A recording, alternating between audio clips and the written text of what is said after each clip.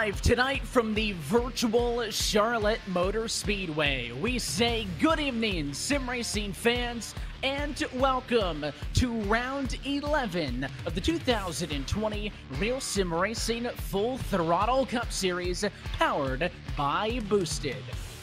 Happy that you're with us for tonight's Boosted Club 250, the longest race of this RSR FTC campaign, as we welcome you into the RaceSpot TV broadcast booth, or alongside our producer downstairs, our Junior Kankipati. My name is Evan Posocco, and happy to be joined by Justin Brenson.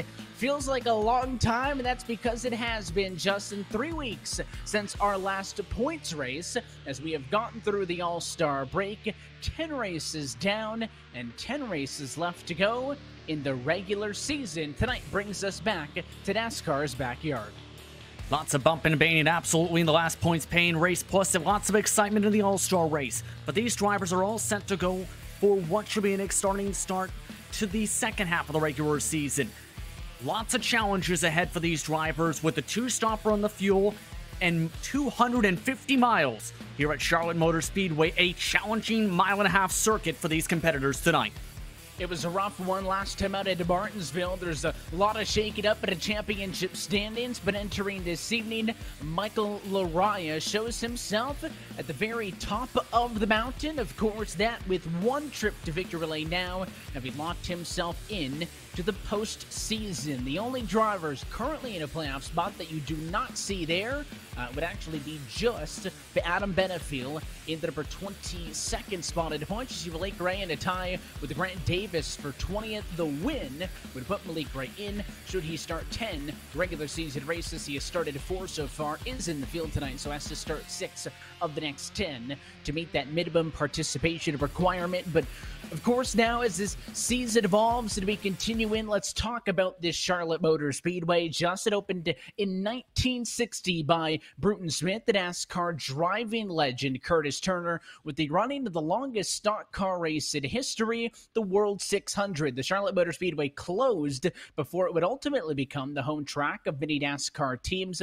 Just a year after the first race, the one and a half mile track went in bankruptcy, done in by a huge infield rock formation that ballooned construction costs far beyond what its two founders had forecast. But almost 60 years later, nearly everything is different. There's more than 89,000 seats that ring the racetrack, which was the first super speedway to install lights for nighttime racing, and we will see that here this evening as qualified races off and into the evening. It is an intermediate track. That does not change, but it is going to be high speed action, as I mentioned off the top 167 laps tonight, actually the longest scheduled distance race of the year.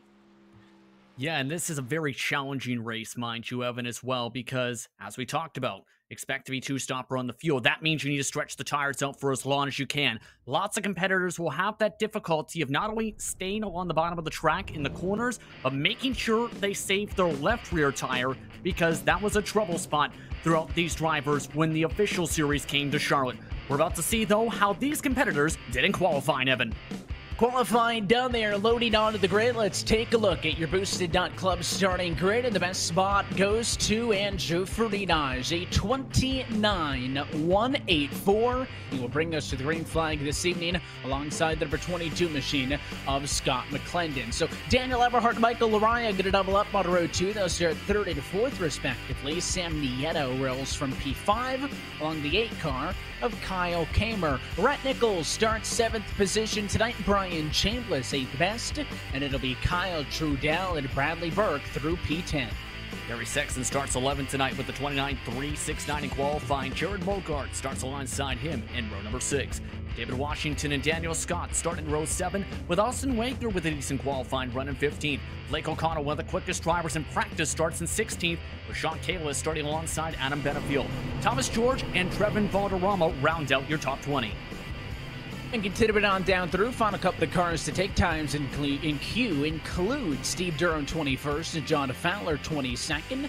It'll be the duo of Jason Lester to Michael Kuczynski through P24, and John Rodden is the last driver to qualify up. But a big name there on the back, provisionals led by the eNASCAR Coca-Cola iRacing Series driver Malik Ray, along with a lot of fast drivers. Eric Stanford 27th, Joseph Tice 28th, Steve Soa, Michael Bozier, and Andrew Pellet Pellegrini 3 the subpar racing cars at the back, 29th through 31st position. As the field rolls off at 1 and 2, let's talk about Charlotte. One and a half mile asphalt surfaced quad oval, 24 degrees of banking. It is kind of the quintessential NASCAR track. And again, because practice started late afternoon and we're almost in entirely nighttime conditions, Justin, those cooler temps going to help out these drivers as well as they do their best in this high uh, downforce and low horsepower package to get these cars around with as little off throttle time as possible. You got to remember, though, as the nighttime progresses from sunset to full darkness, the whole entire feel of the track completely changes. It gets much more slicker and greasier, especially as the track rubbers up. These drivers are going to have to absolutely adapt, Evan, especially as we're about to go green. 10 races down in the regular season and 10 more to go until we go playoff racing. And we're happy that you're spending your Monday evening with us here on RaceSpot TV. Pace car down and in. It is Andrew Fridaj's field at a turn number four as we say, let's go racing from Charlotte. We're off and away for round 11.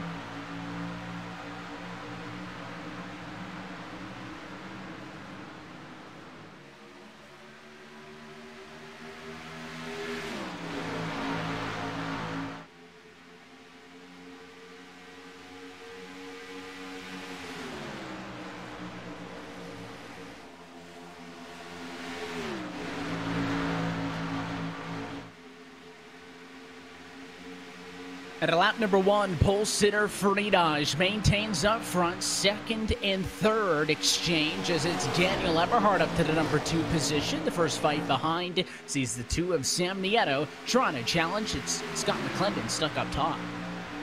Here's the problem, though, with trying to run that top line. It overheats the right front and left rear tires a lot, so you want to find your way to the bottom of the racetrack along that blue line as quick as you can. Expect a lot of passes to be set up that way because of how much speed and grip there is down there compared to the middle. And on the board with Kyle Kamer, he is next driver up the inside. As you see, Nieto has actually cleared this battle with McClendon. He has gone all the way up to the inside and around Daniel Eberhard, who's struggling a little bit that time at turn number two. You can see Kamer rocking it down the back straightaway, 186 miles an hour into turn three. And once more, the inside line works out.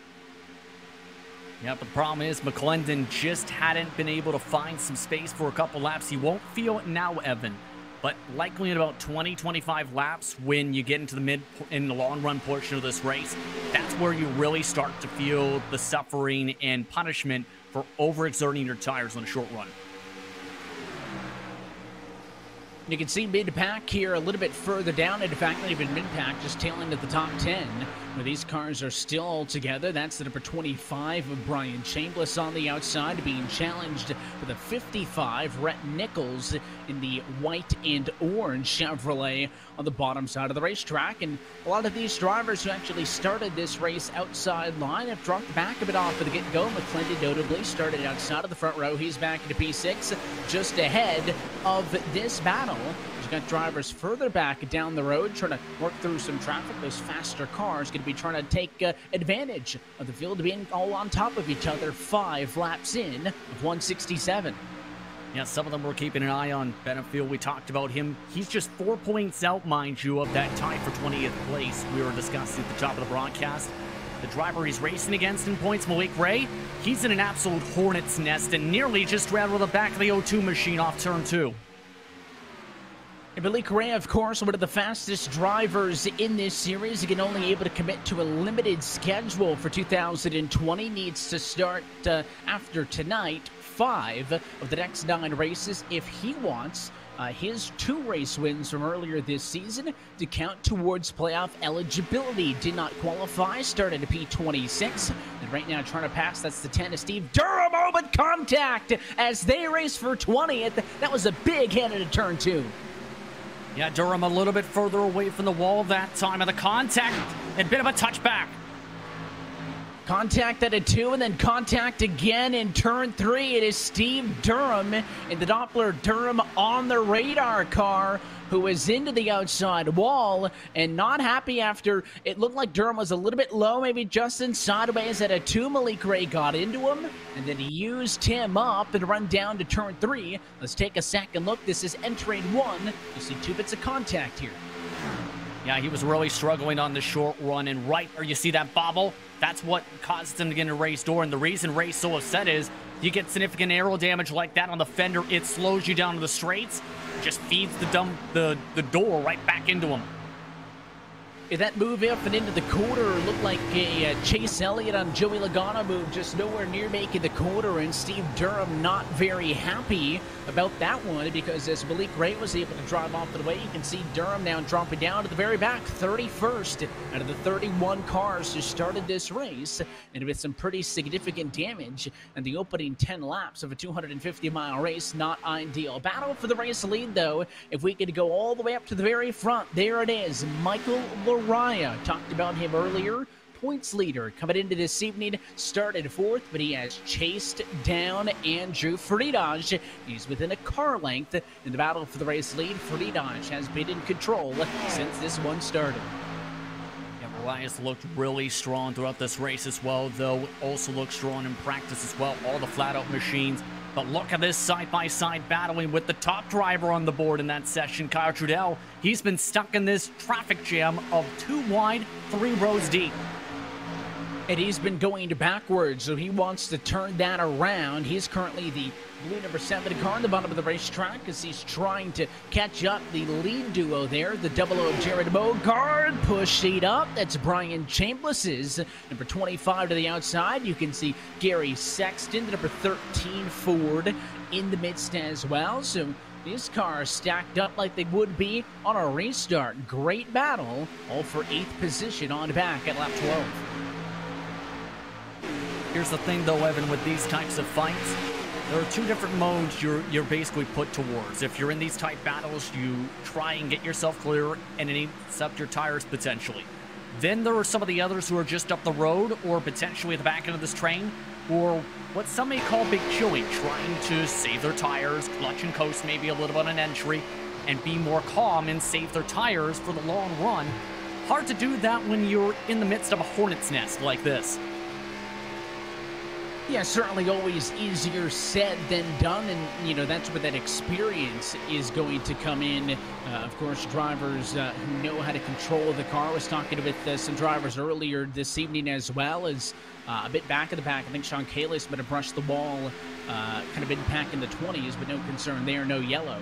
Uh, and we're fine continuing to watch this battle towards the front of the field. But I mean, they also suggested that the tires wear a lot, and of course, uh, uh, this may change with a big build coming to the iRacing service tomorrow. Updated tire model and an updated damage model for these NASCAR Cup Series cars. So uh, tonight, maybe the last race that will look like this ever, uh, with a lot changing, not only visually, uh, but kind of underneath the virtual hood as well, in time for our next race, which will be coming next week when we go to Kansas. Yeah, we were talking. I was talking a little bit with my team about this just earlier today. There's a lot of unknowns on what's going to end up being expectations or how the cars are going to feel with the new tire adjustments come Tuesday and especially how the car's going to react if you, say, have significant damage to the front of the car, or you break the suspension or break a tie rod and nearly break off your tire. Those are a couple different things where no one knows what to expect until they get onto the racetrack tomorrow once everything's all said and done. So it's going to be very, a lot of testing, let's put it that way, for not just the drivers in this field, but for everyone on the service. And of course, it is going to be a learning process. This nothing new, as you can see, Malik Ray, in fact, Justin out forced down to the pit lane. I think his night's going to be done. You can see the right side damage on that car. After the contact for 20th, he was significantly off the pace in his Rowdy Energy Toyota.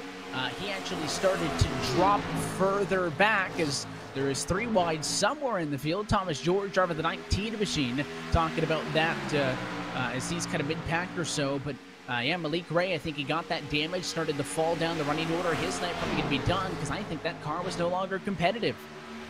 Yeah, when you get that type of a hit, Evan, we were talking about this a little bit with this current damage model. If you have more than 10 seconds of damage on the right front or the door, you're going backwards. So you want to keep the car as clean as possible. Otherwise, you just lose your ability to suck up to cars in front in straight line speed. For guys like McClendon, they're calm as a cucumber, meanwhile, with their clean cars. And of course, you can see there's an on-board look with the driver of the number 22 machine, Scott McClendon. Started second, fell back to P6. I mentioned that early, but he has not fallen any further back and is pretty comfortable running behind Kyle Kamer P5 and Rhett Nichols in the number 7 spot. And that is a look of determination on board the drive of the 22 Chevrolet as he's maintaining his running order. Yeah, you can see it just on the eyes as well that he's laser focused on trying to at least make his way into the top five while making sure he doesn't burn up those tires as we're talking about. The fall off here is significant. For the eNASCAR race just a few weeks ago, it was about two seconds. Drivers are expecting that and then some tonight, mind you, with this fixed setup. And you can see the 83 machine there. That is Adam Benefield. We checked in with him a little bit earlier as well as he's one of those drivers, not that did not qualify. We mentioned some of the big names, Joseph Tyson, in fact, uh, and Eric Stanford, 16th and 17th of the drivers who started 28th and 27th. They're the lead cars who didn't queue. Adam Benefield did, just not a good queue effort in P18. He is up nine positions. You can see the game uh, there actually now as he just sneaks in uh, at that plus seven, I should say, in the number 11 spot on the racetrack. So some drivers certainly taking advantage of an early green flag run. And, you know, we were talking earlier, Justin, about what we saw at Martinsville. Obviously, an incredibly different racetrack when Daniel Scott got his first career RSR win. That race of its 202 laps had 20 yellows for a total of 102 laps of caution. Now that was an RSR high, an all-time high, and Martinsville has always been known for high caution flag counts, but a lot of drivers very hopeful that this race tonight obviously was going to be different. So far it has, as we've got a green flag vibe through 22 of 167 laps thus far. You rarely see a caution flag, flag absolutely, Evan, at this type of racetrack with how calm it can be. But that intensity level's picking up. Battle for the lead. Daniel Eberhard had been trying as we saw some other drivers up and on the prowl, but on the inside he's through a big slide with Sam Nieto, and just as it pops off in the battle for the race lead, the caution flag is out.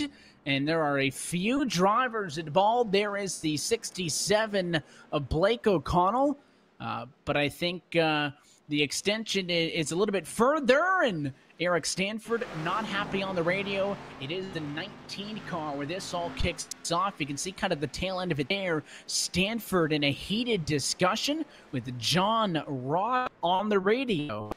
They were battling, I think, for 18th and 19th spot. Justin, let's watch this here as there was contact in turn three.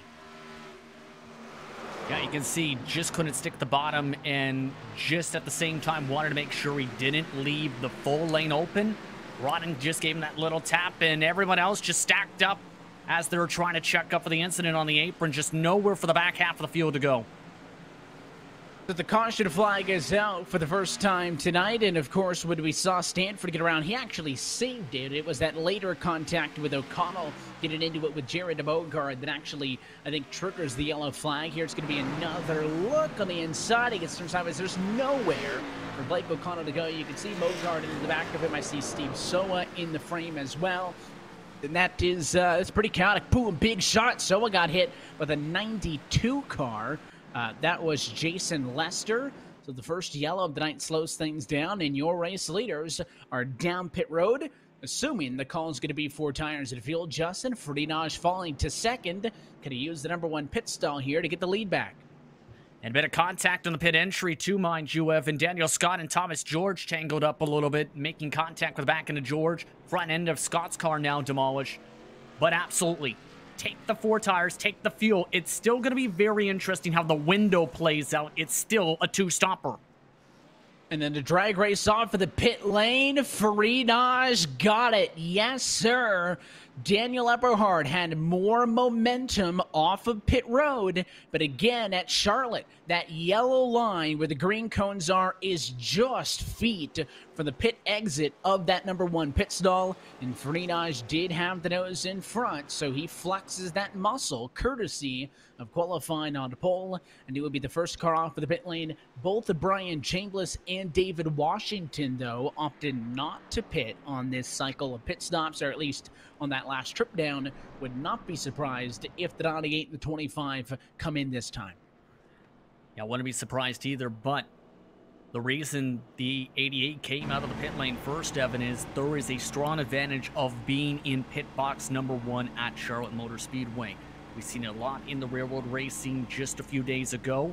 It came into play where you just have to essentially move four or five feet and you come out right where the commitment cones are here on iRacing. So that puts you right at the head of the field. As long as you have a decent pit stop entry and stop, you can gain a lot of positions by just being the pole sitter. You saw those top two come into the pit lane, so that uh, kind of puts a ribbon on that caution flag pit cycle, and the running order is back uh, to the way it was on the race off of pit road. For Ferdinand's first driver off uh, does have the ability to choose inside or outside auto restarts per RSR rules, and uh, he will opt to simply just stay on the bottom line.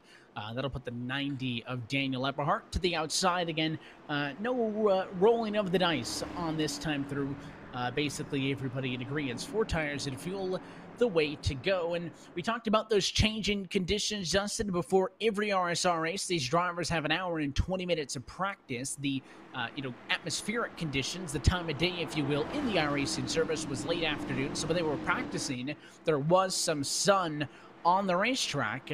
Um, however, uh, we are basically full-time uh, night conditions as we run now. Yeah, not completely fully dark, just a bit of orange in the sky, absolutely. But in practice, you mentioned the sun. The more it started to set, the faster the times went. The top spot in practice changed hands about a dozen times in the span of that hour and 20 minutes, just with the changing, changing track conditions. We're about to get back on our way, though, Evan. Pace car down it in. It's Andrew Friedage in front. It's a restart. 26 lap down at Charlotte. He's off and away.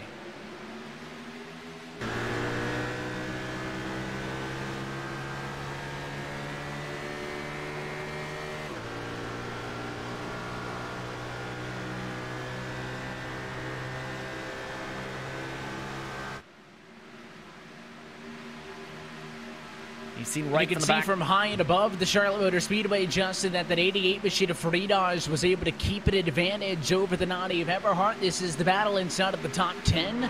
Once more, car stuck on the outside. McClendon, Kamer, the two cars up top right now. Yeah, you've seen for the back end of Andrew Freenosh's car, Evan, how quickly everyone tried to find that hole to the blue line, as talked about. And a bit of trouble in the middle of the pack.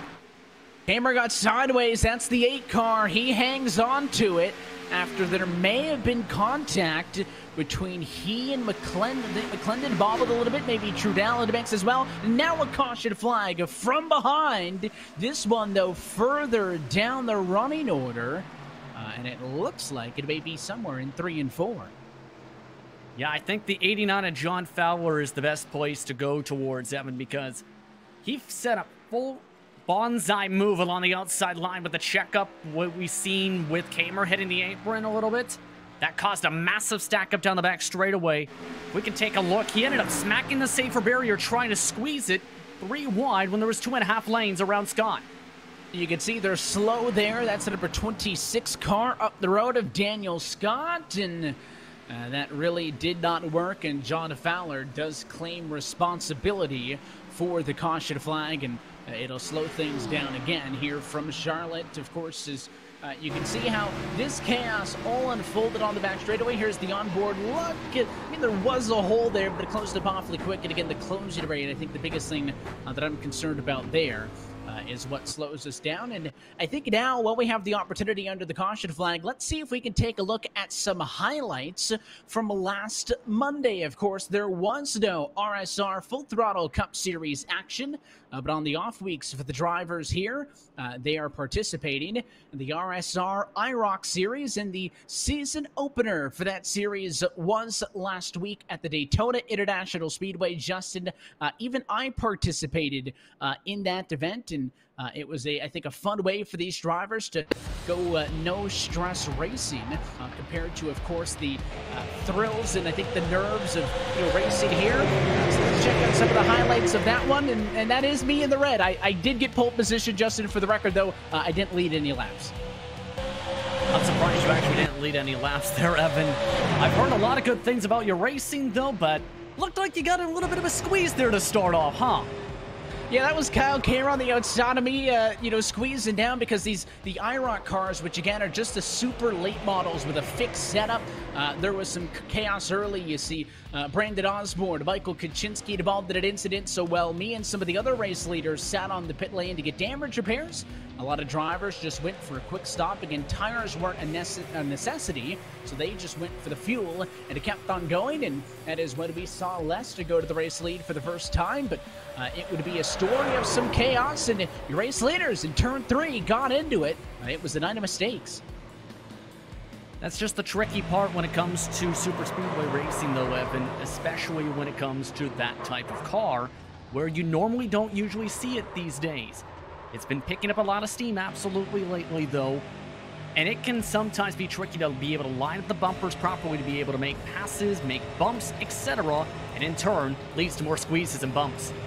You can see a bit of contact there as Pellegrini goes on about on the inside. That's McBride up top. Kyle Kamer in the orange entry. And uh, of course, uh, a late wreck behind as your race leaders had kind of pulled away. Trevin Valderrama turning. I believe that was uh, Scott McClendon there. You can see the big hit for Michael Kaczynski. That would set this race up for a late race decision. Some drivers faking out the decision to come to pit road uh, would shake things up late.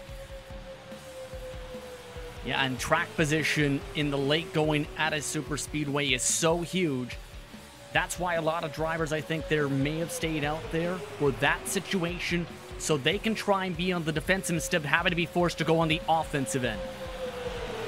And this is the battle on the white flag lap. And, and I told you I didn't lead any laps, Justin, so uh, I'm sure you'll know how this ends for me. But white flag lap, I went out of line from the bottom to the outside, had an opportunity to go head to head with Jason Lesterman to turn three, but I got a little bit loose there with the push, got forced out three wide. Uh, I would go on to finish fourth in this race, tucked back in the bottom, but it was Jason Lester on the bottom, pushed by Steve Soa, who would go for the inaugural win in the RSR IROC Series at Daytona. That was Kyle Kamer in the orange car on the outside line, who finished in second. Uh, again, those races open to all drivers in RSR competition uh, on the off week. So the next time we'll go IROC Series racing uh, is going to be a little bit down the line. Our next uh, non race is actually June 22nd, but that'll be a special event for the drivers uh, to compete in in the old 1987 stock cars that are coming to the iRacing service tomorrow.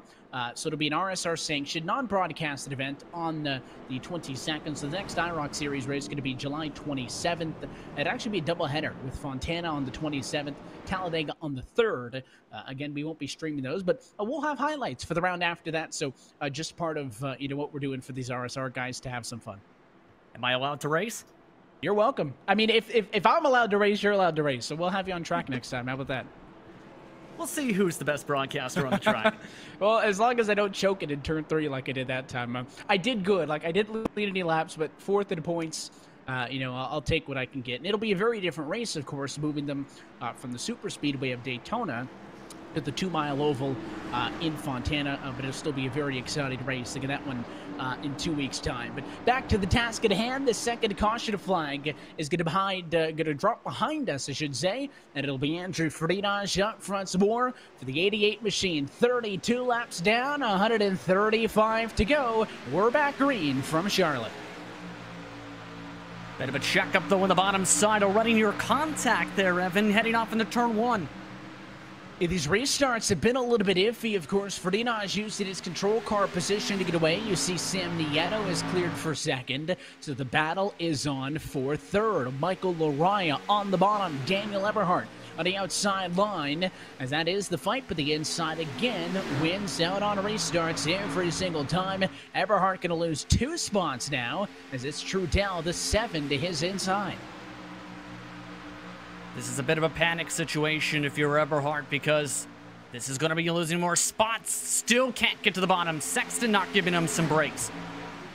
You can see these drivers as well. I mean, they are down on the line here at Charlotte. It is kind of a white, blue, and white line. The apron is actually at the very, very bottom. So if they're on the blue, they're technically still on the banking. But some of these drivers awfully flirtatious with that apron. Of course, trying to get these cars to rotate in the corners, but if you overstep it, it is going to be a harsh transition from 24 degrees banking to zero on the flat. So you have to be careful with that. But the inside certainly the best place to be off of the restarts. That's why cars up top have struggled basically on all of them. I've seen many drivers when it comes to clipping the apron either snap up the racetrack tight or snap loose and spin out in front of the field that's where it gets very dicey. A lot of drivers we talked about a little bit before may use it at some tracks, just a touch bit for rotation. Here, not as much, especially the amount of bumps here as the track has continued to wear out. Battle for the lead is on. And that's the nose on the bumper with the two is Sam Nieto. He'll go to the inside as Farinaj gets into the outside wall. And a rare mistake for the defending series champion. I'm not entirely convinced just that he wasn't letting the two car go, but he got into the outside wall, and that basically made his bed for him. New race leader, Sam Nieto. But for how long? The 88 car going immediately for the counter. Can't do it though as the two car pulls a car length. Yeah, I wouldn't be surprised if Freenush tries to get any movie cam back on Nieto if he's given a shot here. Already pushing a lot on this run already to try and gain back the ground. Clean air is so important here at Charlotte, mind you, because you're able to save more tire and you burn a lot more of it by being in the draft. It makes you a lot more tighter and have you have to be more off throttle in the corners as it lifts up the splitter in the corners. Your track position so critical, and I think Andrew Freitas now knowing how the likes of Eberhardt and other drivers felt, of course, when we saw Freitas take the race lead back up front on the cycle of pit stops, that running in second, an awfully lot more difficult. But here he comes, a lot of speed out of four. Nieto goes to the bottom, protecting the inside. Those kinks on the quad oval open the bottom up. Should Freitas decide to be that aggressive. Uh, but again, there is a long way to go in this race, and he backs off for the time being as first and second pull away just a little bit from everybody else on the back.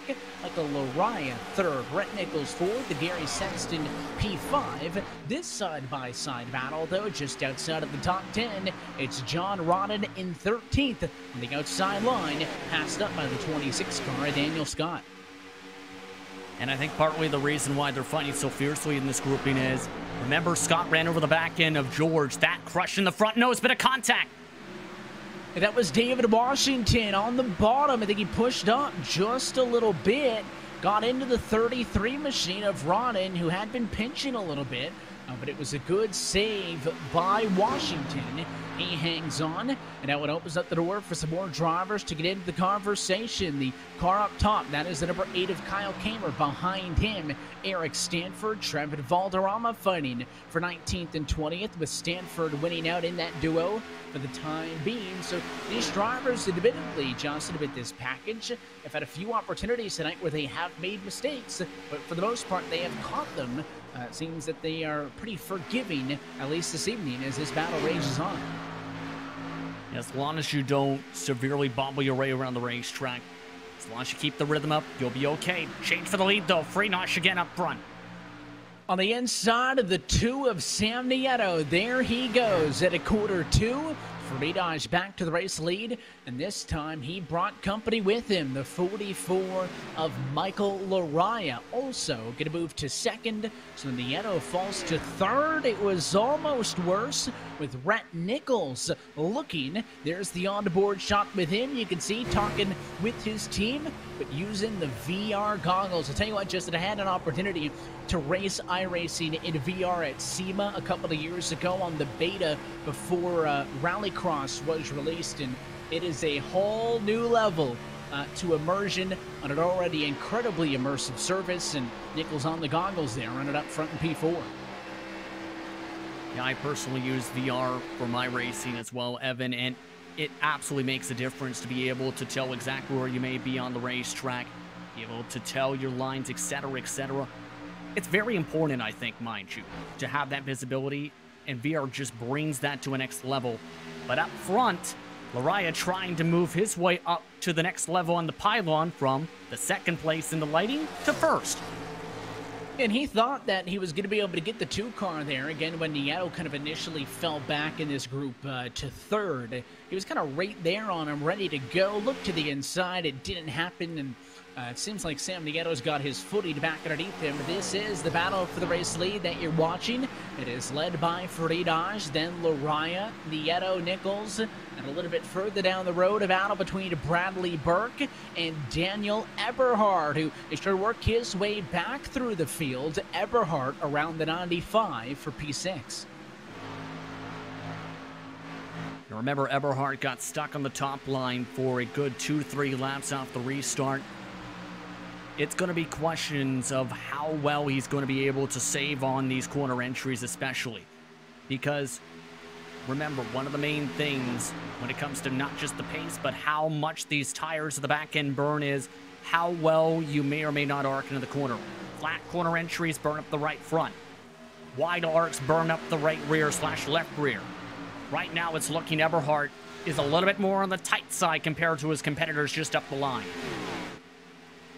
And we'll see now as, of course, this race continues into the evening and the rubber gets put down. If that's going to improve or get worse at all as this thing continues to play on through. Still the bottom, the place to be, but I mean, I, for all the kind of chaotic moments that we've seen Justin and, you know, some of the incidents with 2-3 wide getting pushed, but maybe it wasn't necessary.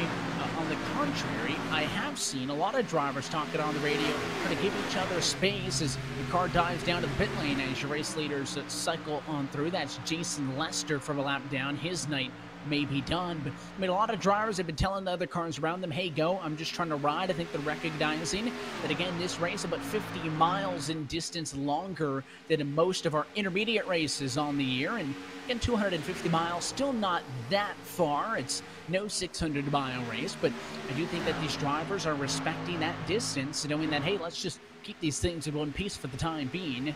I mean, you look at where we sit now, just barely closing in on what would be one third distance. I think you hit it on the head with the amount of respect. A lot of these competitors are absolutely thinking big picture with how much they may burn their tires up in the short run and knowing that if they hold the other competitors up, there's a chance that not only do they lose the draft, they hurt everybody else's draft that ends up in turn potentially frustrating them and they end up losing that bit of respect to get that type of patience in the next race or races. So it's something everyone thinks about for every single event, knowing that there's a lot of racing to go, especially with multiple pit stops here at Charlotte. You can see the top four, five or so kind of log jammed right now, but here's the battle. Oh, and a bit of contact. Bradley Burke pushed by Gary Sexton into turn three. You can see the Audi 5 car get sideways. All of that well, Joseph Tice in the number one works on the outside. Another one of those pucker moments, but they all hang on, and that'll actually give the advantage to the outside as Tice wins out in this battle. For P6 on back, you also see Trudell McClendon a little bit further down the road, and about a five car pack is again Sexton all over. The 95 of Burke maybe feels like he's being held up and wants to go sooner rather than later. Gary Sexton had an awfully frustrating night the last time he was in these Cup Series cars in our boosted Dot Club North Wilkesboro All Star Challenge. Looking for some redemption here tonight in the 13 Ford. Yeah, the Bobby Dale Earnhardt Legacy Esports machine definitely losing a lot of time here from that. I think partly the reason, though, he's frustrated, not so much the amount of, of being held up, it's the fact that Burke, those past couple laps, had moved from the top straight down to the bottom before he started the arc for the entry to hold on to the blue line.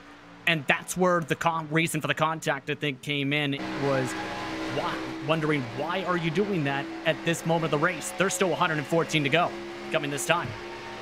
Yeah, long way still to go, and Scott McClendon still locked in. Last time we checked in with the driver of the 22, he was running P6. Now he runs in P7, so doing everything that he can to keep that car up front. Uh, the car that passed him was Joseph Tice, who's your biggest mover. He's plus 22 spots after not qualifying in this race a little bit earlier on, and that seems to be relatively stable for the moment. The duo of Burke and Sexton, the next two cars behind him, so we'll see if they're able to get up on the 22 and try to fight. Some side by side further back, the double over Jared Bogar, the 8 Kyle Kamer, in a battle for 13th and 14th position, just exchanged into turn number three. There they are as Mogard tucks in line and tries to get back around the 8, but I don't think it's going to happen this time through. And of course, battling going on throughout here at Charlotte. Lap number 55 now, the longest green flag run we've seen. Want to note something, though, we just seen on the left side of your screen, the positions gained. Joseph Tice, 23 positions gained now.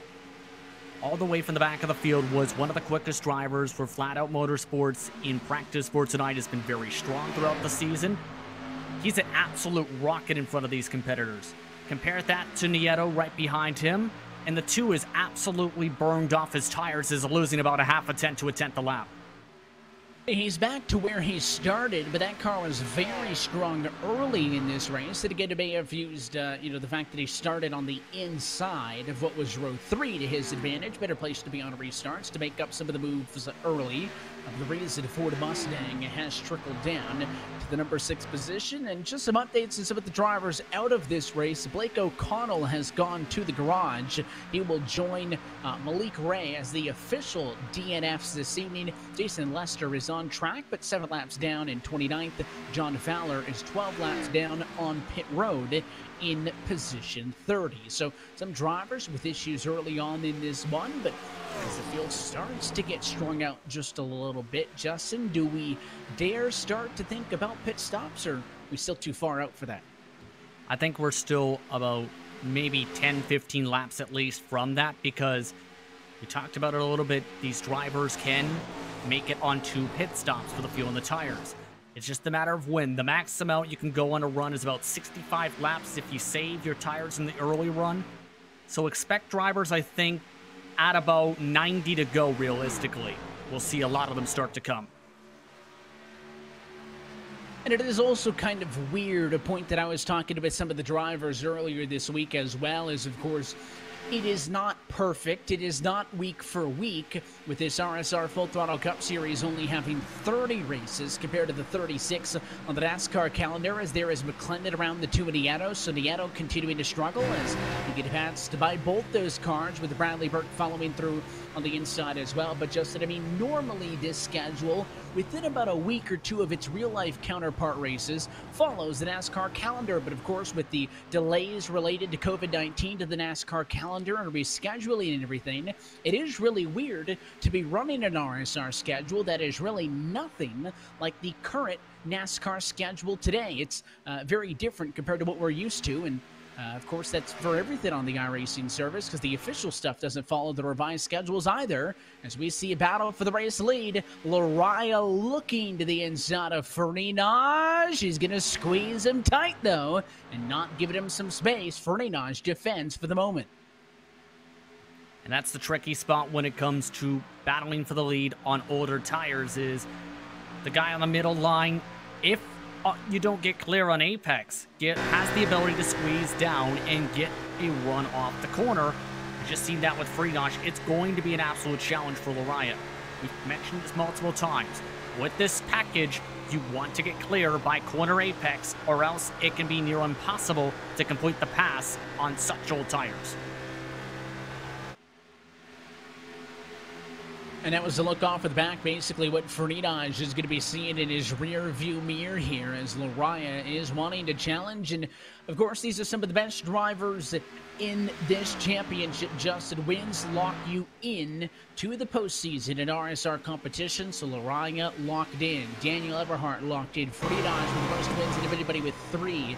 He is locked in. So the driver who really needs a W here is Joseph Tice, fourth in line but the top three have pulled away from fourth on back. It is very much a three horse race here, and it is not that previous race winners have nothing to race for because with every race win you have in the regular season, you get three bonus points to start the round of 16. That could be huge when you look at the fact that, you know, tracks like it is all short tracks basically. I mean, you got Darlington, a bigger racetrack, but then Richmond and Bristol, I mean, those are all tough tracks. Those bonus points could be huge by the time we get to September.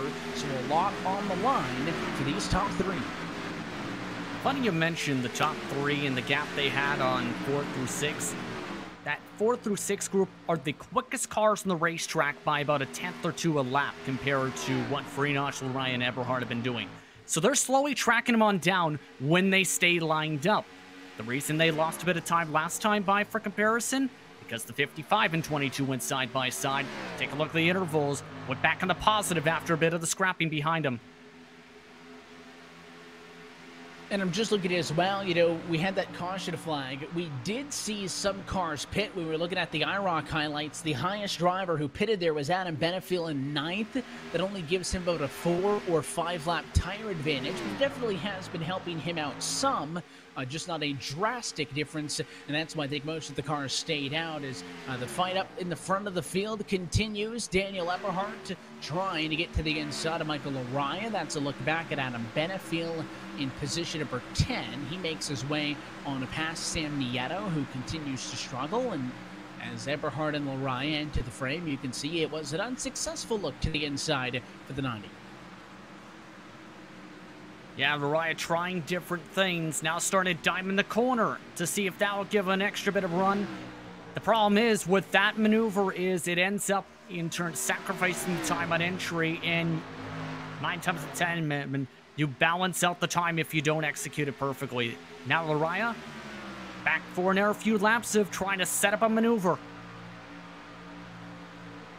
And he'll try it again. He'll look to the outside. And the concern, I think, here for the 44 is, of course, if if you're going to try to make a move on Andrew, if you get to the bottom, all the way to the bottom, you probably have a pretty good opportunity to get the race lead from him. Again, a look to the inside, but just the nose, not going to cut it. Now, your concern here is if you go at a line, let's go on board here with Daniel Eberhardt. That failed attempt to pass for the race lead could cost you second because here comes the 90. Lariah was slow at a four. It opened up the bottom, and we got a battle on our hands for second.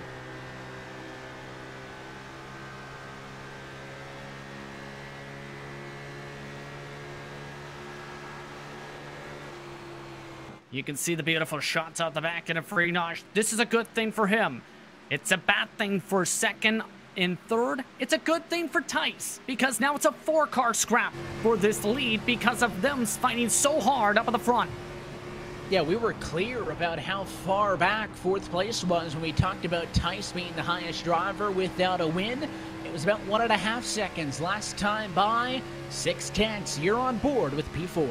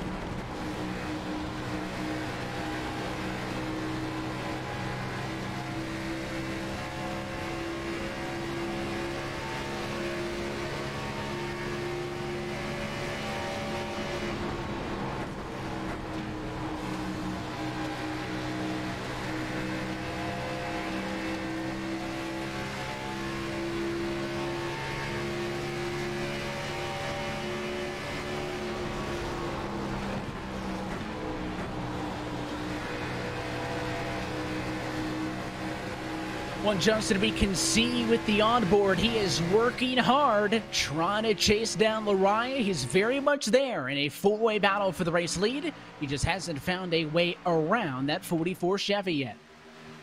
Make it a six-car battle because McClendon and Nichols have also caught up to this group. They're the fastest cars on the track. The problem is, Greenosh, Eberhardt, and Lariah are about a tenth or two slower, and that's just holding everybody up, it seems and it's now bunching everyone up, especially behind Lariah. He's lost another three car lengths. He's starting to get fairly tight in three and four. And of course, we're on the longest run that we've seen so far tonight with 40 laps removed. The last caution flag. Uh, so these cars working down to some of the slower speeds. The battle for the race lead is on. Here's the 90 of Eberhardt to the bottom. His last lap, but a second and a half slower than his best. And this time he did it. New race leader, lap 73. Daniel Eberhardt finds a way through. Uh, Andrew Friedage, who falls to second. Not going away, though. He's hunted back into one. Remember, Eberhardt and Freenosh have worked together in the past, so there's that mutual friendship coming through, knowing Eberhardt was the quicker car. But Tice is now under attack. McClendon just was able to poke his nose right underneath the left rear, just couldn't get it complete. Now backing it off to save. And again, that's the key here. I talked about this in that battle for second initially when Lariah was the one trying to make moves and that eventually cost him P2 to Daniel Eberhardt. Now, your race leader up in front is that you can't just go for the first hole that you see. You got to be smart about this. And while that battle for the race lead kind of log jammed all these leaders, it has allowed all these other cars into the mix. You can see Steve Durham working his way uh, as a lapped car, but holding the bottom. This could cause issues for Farinaj because Eberhardt decided to go to the outside. The 88 stuck behind the 10 as he goes three wide. Close call there as he dives to the outside. That's going to be a little bit frustrating for these leaders. This is really going to hurt tight. And he still holds the bottom and again, without going right up to the outside wall, Durham doing what he should be doing, and that is just staying low. But the problem is, Justin, that's the preferred lane here. He's on the radio saying, Let me go high, let me go high, but there's a car there. He comes up on the 44. Lariah gets into him, and he takes out your third placed car in a caution at lap 75.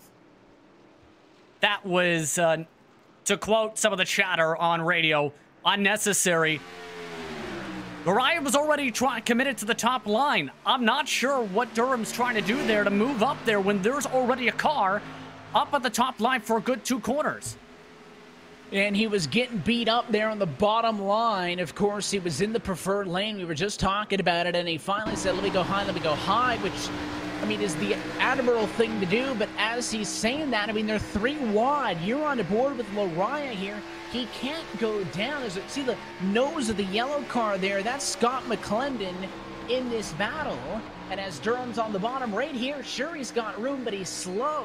So as he says I'm coming high, Lariah's just holding his spot there, and he comes up and squeezed him. Yeah, that is absolutely unbelievable and definitely a frustrating situation because that just took one of the top five cars out of contention for tonight. That's definitely going to be something Mariah's going to be thinking back on. Steve Durham claims responsibility for the incident. He'll get it into the longest line of penalty. Your race leaders are down pit road for service. Daniel Eberhardt, though, was in front at the moment of yellow, so he's the first car down pit road. But will he lose the battle for the race lead off the pit lane for a second time? No, he maintains. Eberhardt defending the number two position. It is close in the fight for second but I think Scott McClendon may have maintained it. Farinaj possibly dropping to third in all of this as you can see the damaged Michael Lariah entry, who is onto the pit lane, and uh, Steve Durham very apologetic over the radio. Justin, Michael Lariah understanding, but uh, as well frustrated because an opportunity for the race win going to be taken away. And mind you, think about this as well. He's been a driver who has sat in the race control seat back when the APC United Late Model Series, a late model series in Ontario, was holding E Series events back in late April and May, he was one of the main guys controlling race control and making sure everyone knew the flow of the race, was bringing out the cautions, etc., admitting the action.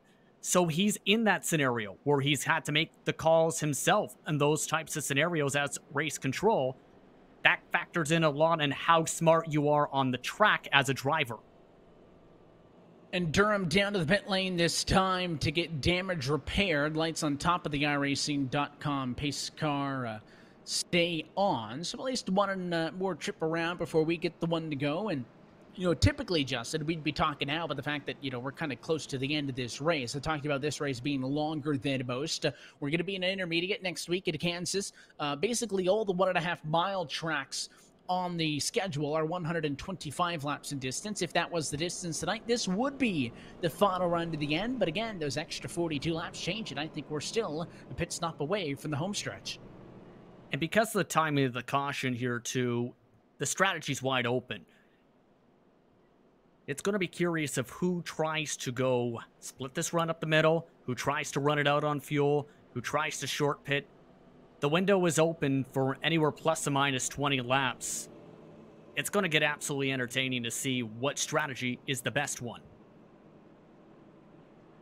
And you can see the plus minus is Tice, your biggest mover in the field at plus 24. And because uh, he did not qualify, however, he would not be eligible for the Doppler Durham on the radio Hard Charger Award. You must qualify, and Uh, ironically enough, we're talking about Steve Durham, the title sponsor with that, with his Doppler Durham on the radar Ford. Uh, but $5 to the biggest mover every single week, but you must qualify. So I believe right now that goes to Adam Benefield. uh, who is plus 13 spots after qualifying at 18th. He's P5. Uh, that is only one better than uh, Michael Mosier, who did not queue. So I think Benefield in the spot for that. And of course, he wants the battle for the race lead in this one as uh, the lights are out on top of the pace car, and we're going to be going green this time by. Heck of jobs for some of these drivers to cut their way through, but take a listen a bit to the some of the engines there at track level because already some drivers are trying to burn fuel and have their cars a little bit lighter. That gives them more short run pace. Here's the thing though, it may tighten up some of the drivers who are trying that here in the mid run. It will be tough. And of course, you know, now these drivers kind of have to reset everything because they just had kind of accepted the fact, I think, that, hey, we're in this long green flag run. You saw the sense of urgency ramp up in the battle for the race lead. Uh, and now all of a sudden, it's kind of a clean slate. Everybody groups back in. It gives those drivers like Tice, like Benefiel, a big opportunity here to get some spots. And, of course, Frinage in third think is the lowest we've seen him all night. Granted, he does have the inside line for this restart. That should be an advantage. Pace car off this time. Daniel Eberhardt going to control this one from the bottom into the Bernardi SK Sim Racing, a Bruzy Raceware Ford Mustang. It's a restart. 80 laps down, 87 laps to go as we close in on halfway home from Charlotte. Perfectly executed start there, Evan, right from the get-go for Eberhardt. But most of the field, again, back to the bottom line. Trouble, though, for Tyson McClendon. They couldn't find holes. And that's the challenge. You can see Fridage, he moves into second, so it drops the uh, car on the outside of McClendon to at least fourth, if not more. Benefiel passed him, and Rhett Nichols wants to be the next, but Nichols funny with McClendon, a little bit tight that time at a two. The 22 wins that exchange for the moment. A little bit dicey there for the former NASCAR driver. Freenash not making it easy, though, with a bit of the squeeze, trying to force Benefiel off the throttle doing everything he can to make life difficult. And here's McClendon looking to the bottom as he's going to go high to low, trying to gank a pass for third. So Benefiel holds time. McClendon takes the spot back, and one of the drivers who has struggled from the beginning, the 22 car now moving in the right direction. He's back into third. And just like that, munched the field already. Single file back out. Not for long, though. Here comes Freenosh. He's going to rocket up the inside. Battle for the race lead. Lap number 83 from Charlotte. No doubt about it. Fridage rocketing back to the front of the field. And there is more because here comes McClendon in a drag race to the line with the Audi Eberhardt. This battle going to be for P2 as the on-board shot with him, McClendon back to where he started in second. An impressive run for both he, who was struggling on the outside, Justin, for restart positioning, and by Fridage, who had fallen to third, the lowest he had been. Impressive that they're both around the Audi car. Eberhardt maybe not that good in the very short runs. Yeah, Eberhardt's been looking really strong on the mid to long run today, absolutely, Evan, where he's been able to gain an extra tenth or so in that run. I think he's just saving tires and trying to maybe stretch things out a bit. McClendon, he's not saving. He wants the lead now. He wants to go for it this instant to the inside of Faridaj, and he is going to let him go halfway from Charlotte and a new race leader. In the boosted dot club 250, it is Scott McClendon to the race lead. Does Faridaj let him go, though? You're on board with the 88 car.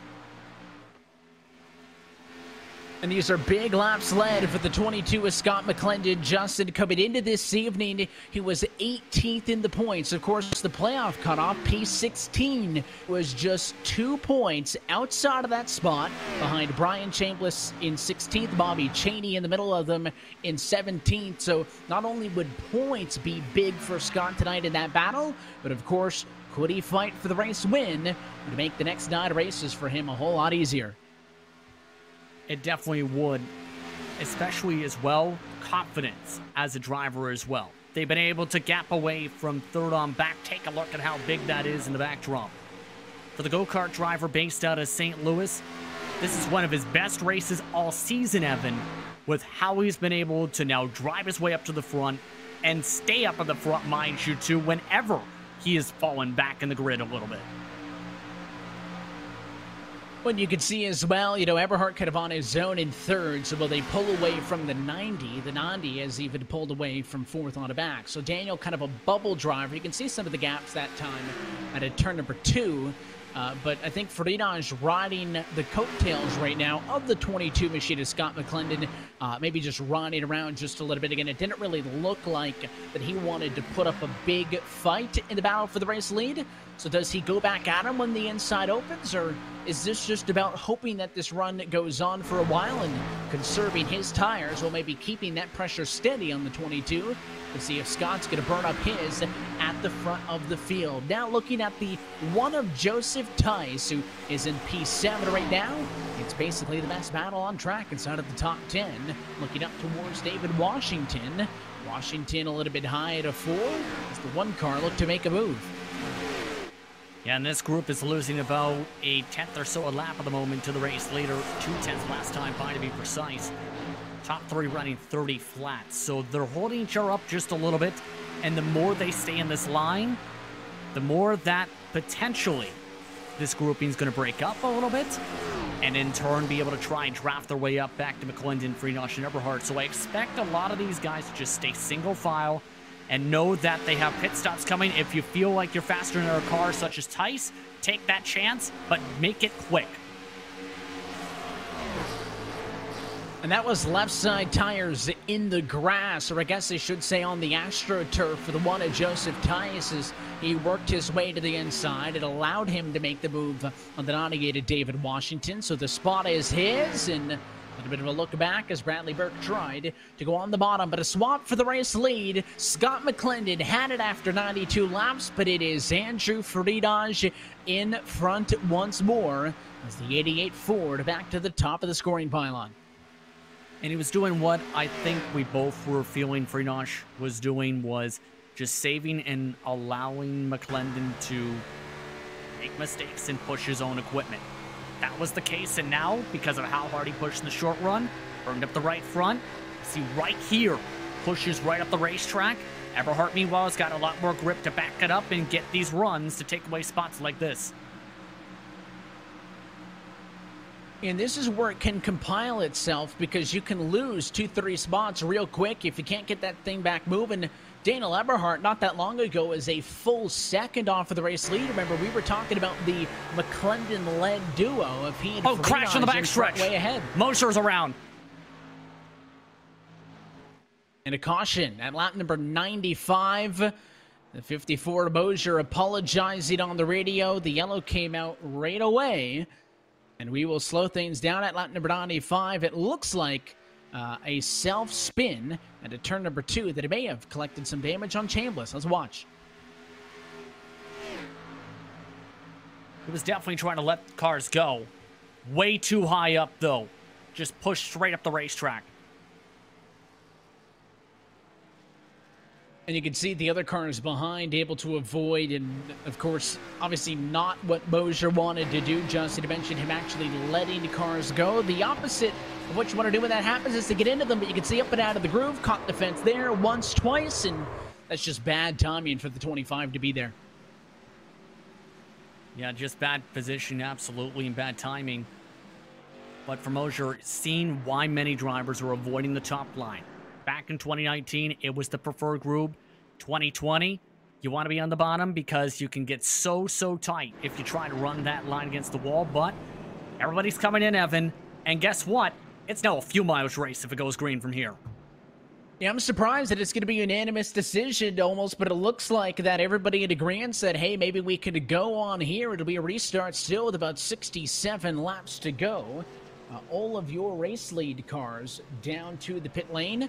I think Brian Chambliss, who we just talked about being involved in the incident, uh, the only driver who's not getting service, he missed his pit stall and drove straight on through. So what's the battle for the lead off to the pit lane going to be like? Faridaj maintains and that small hiccup that last time, but he actually lost a spot.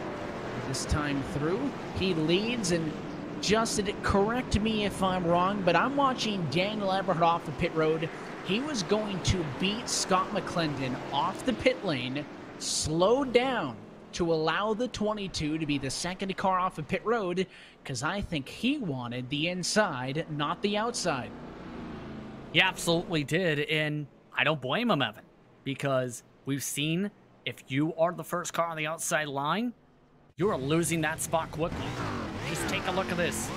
Good pit stop service up on the left side, Jacks. Lots of cars already zipping on by, and right here came out before McClendon just gently slows on down to ensure he's got the bottom line and hooks up with the potential car who can give him a count in rows one and two in the bottom. We saw a similar thing over the weekend. Uh, Chase Elliott and Kyle Busch uh, playing a little bit of uh, a game of chicken on the race off of the pit lane uh, at the race at Bristol to see who wanted inside and who wanted the outside. And that kind of reignited the conversation about a choose cone personally uh, a fan of, of a choose cone rule, and Brian Chambliss just blew up for the race lead. The 25 car did not come down, or he did come down to the pit lane, but did not get service. He drove through, and that car just blew up from the race lead. I think he was going to try and stay out based on what I'm hearing a little bit, knowing it was a fuel mileage race and hoping something happened. But a few drivers were overheating Mind you, on that run, Jared Mogart also blew up with a bit of front-end nose damage, and it could spike your oil temps by 10, 20 degrees. And he was upset about it, and, and he's talking about it now over the radio. He felt like that more of his damage was on the side of the car than it was on the front. Of course, front end damage is primarily what you need to be concerned about for rising temps, Justin. Admittedly, I have to agree with him. I didn't see much yeah. front end damage, but I guess right front is in that area, and nonetheless, that car done after I agree with you. I mean, if he was just going to pit, probably would have pitted the immediate next time by. He was going to try to lead this race, and instead, he's on the hook. And the reason we mentioned the right front damage causing that scenario is it's still in turn right where you have the radiator. And remember, the aero ducts with this package, those aero ducts, you cut off some of the cooling for part of the radiator. And that in turn, I think, was absolutely a factor. I've had it personally happen where just a little bit of damage on the right front fender, temp spiked instantly about three degrees higher for the oil. So it moves everybody up one spot, and once more, that means that the race off of the pit lane was the race for the lead because Faridaj now back in control. Of course, Scott McClendon ended up second because Daniel Eberhardt let him beat him off of the pit lane. So the 90 going to be on the inside of row number two in third. Will this stand to benefit him long run? Also, a lot of cars on the apron over the course of this yellow flag period. This restart going to be 68 laps to go fuel mileage race, Justin. They're going to try to stretch this if it stays green.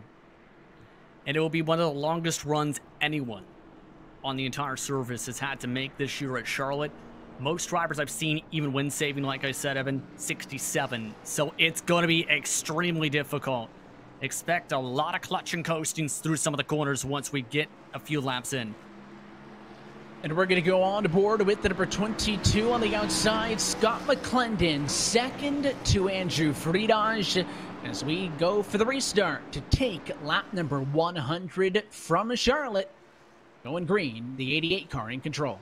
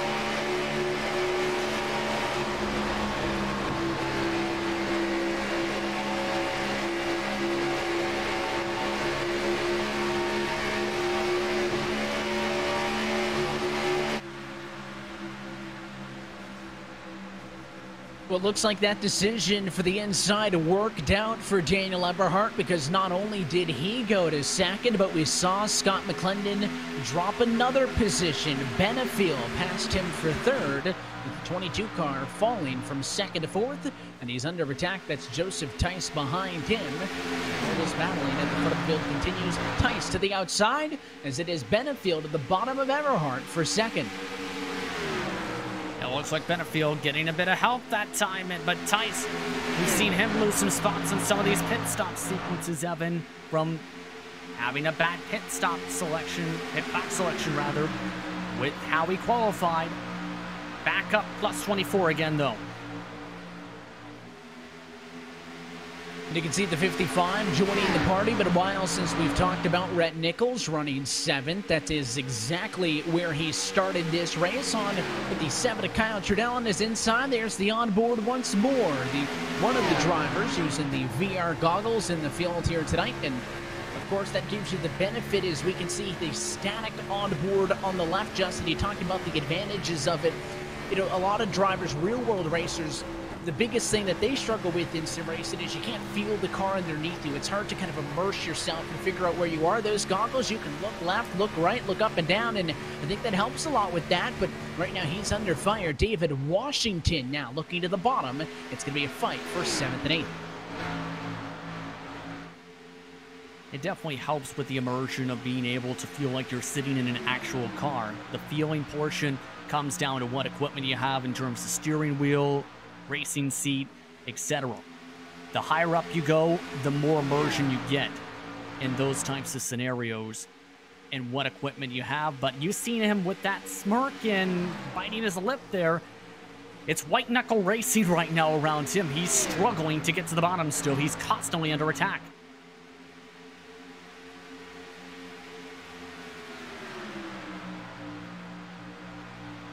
And all of this while Faridas tries to pull away up front. If we're going to see a fourth or fifth car join the battle for the race lead, now's the time to do it. It seems like routinely over the last two to three runs, it's been the top two or three that have been able to pull away Faridas, Benefiel, Eberhardt, and I would put McClendon kind of as a fourth driver in that group. So can Joseph Tice take that extra step? He is fourth, but a little bit behind the trio of Faridas, Benefiel, and Eberhardt, who run one, two, three at the moment. Of course, past halfway, next time by, going to be 60 laps to go from Charlotte.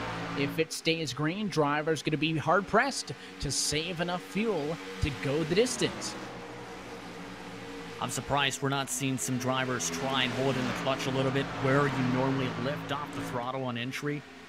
I'm expecting that more and more so as this run progresses, though, Evan. Right now, these drivers are racing like they're expecting their caution flag because that's just been the trends of the race. There hasn't been a green flag pit stop sequence, so they're banking on there being in our caution. Once I think we get to, say, 30 to go, that's where we'll see even more aggressive fuel saving from a lot of these competitors.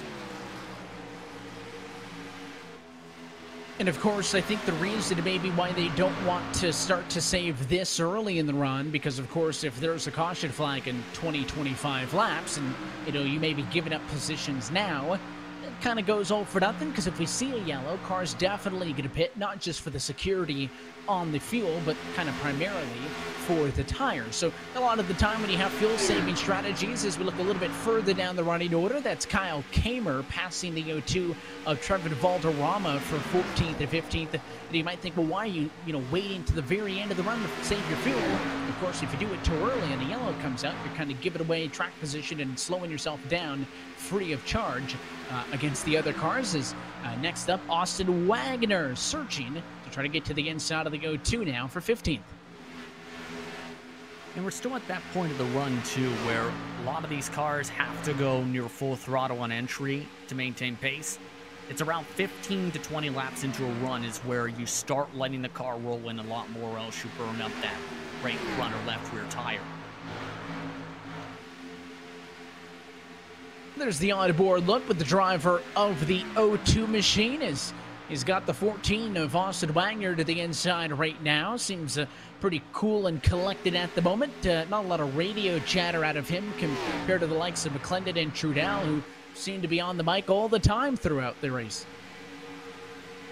having a bit of communication now with some of the cars, and especially Wagner underneath them. But he's been more on the conservative side. I've noticed this run with the throttle inputs. He's actually been getting off the throttle a little bit more compared to some of the other cars. He might be thinking that big picture at this moment and trying to see if he can try and luck himself into a good call.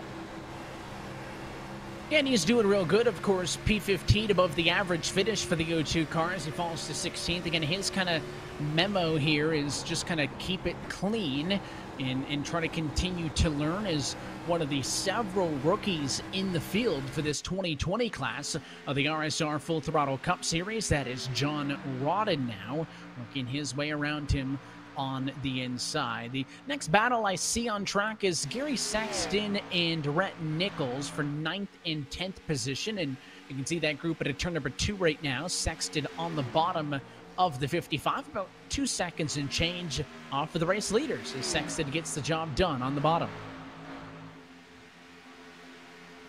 Yeah, and we're seeing plenty of give and take throughout this run already. Speaking of taking, lead's just been taken away by Benefiel. Yeah, but the very front of the field, Adam Benefiel, and kind of out of nowhere, it had been Freedosh comfortably. We saw Benefiel, Eberhardt, and Tice actually, who caught that group running behind the 88, but Freedosh was just a little bit slow, and his exit at turn number four, and it was such a bad exit that he got passed up by both the 83 and the 90 in one swing of the bat. We have seen many times tonight Andrew Ferdinand lose the race lead, get in line, ride around for 10, 15 laps, and then just go right back at him. We'll see if this remains true, but with more cars, Justin, in the conversation in this lead group here, uh, he may have his hands full, full now more than ever. As let's see if we can get a second look at how the 88 machine lost that race lead. Yeah, you're going to see it off a turn four right there. Just Benefiel gets that major run. Normally you see only one car pass, but this time backs right off the throttle, and man, what a squeeze by Freenosh. Just came right across nearly the nose of Tice to find the open hole and get himself back to the bottom so he didn't drop to the back end of those lead pack. That was an awfully gutsy decision to squeeze his way in. Joseph Tice may have cut him a little bit of a break there as to not uh, get into him and uh, for the moment, it pays off. And uh, now, actually, Benefiel pulling some distance at the front of the field. Eberhardt could be on the chopping block if Friedrich feels like he needs to go, uh, you know, without dropping further back. But, uh, you know, we really haven't seen a single race leader pull away. We've seen a group of two or three or four get away. Right now, the lead six cars are all within one second of each other. Uh, even if Adam Benefield goes on to win this race, there's 49 laps to go. That's still an awful long ways left. I don't think he's going to run away with it. You're going to be dealing with pressure till the end. And I think we've both seen in the past, though, that Benefield can handle pressure. We've seen it at Daytona at the start of the season. We've seen it in his time in the eNASCAR Coca-Cola iRacing Series. He can be calm, cool, and collected. He's in the driver's seat where he can do that right now. Just has to be able to manage the pressure from behind, especially since there is no one in front of him, mind you, even lap traffic, for a good half a racetrack.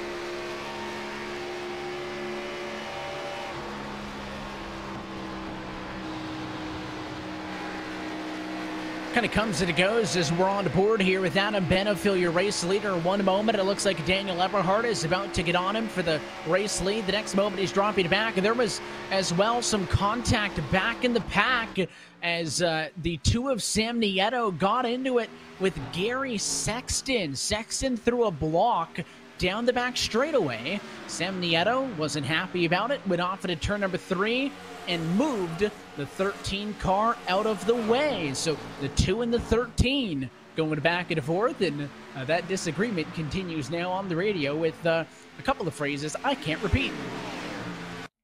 Yeah, and I don't blame a little bit of the feistiness in this. We'll see this from the lap before where Nieto's a good few car lengths behind. Sexton getting fairly tight in this run. And right on the next corner exit in three is where Nieto starts to really close on in and focus up in this battle. We'll see if anything else comes from this group. This is all battling from outside of the top 10. And here it is. So there's the block on the back straightaway. And Nieto said something to the effect of, don't block me. And then watch this into three. Uh, he's going to move up the hill and nudge Gary Sexton out of the way. That uh, is what the 13 took exception to. Yeah, you can put up the air quotes for a racing incident there, I have to say there. And Nichols nearly showed his bit of frustration with that move on Sexton a bit there. Nearly nudged him in three and four.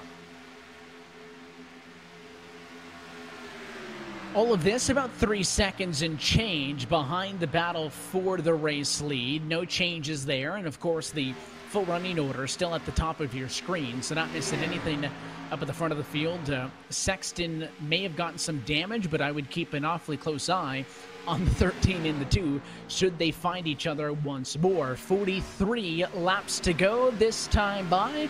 You got drama at the top, but in the middle, all throughout the field here at Charlotte Motor Speedway is starting to close in on the end of this boosted dot club 250 11th round of the 2020 Real Sim Full Throttle Cup Series. Our coverage tonight, as always, is powered by Boosted, the place where gamers and creators go to monetize digitally. Their team will build you a totally free e-commerce store and help get sponsorships for those looking to build their brands. Go to boosted.club for more info.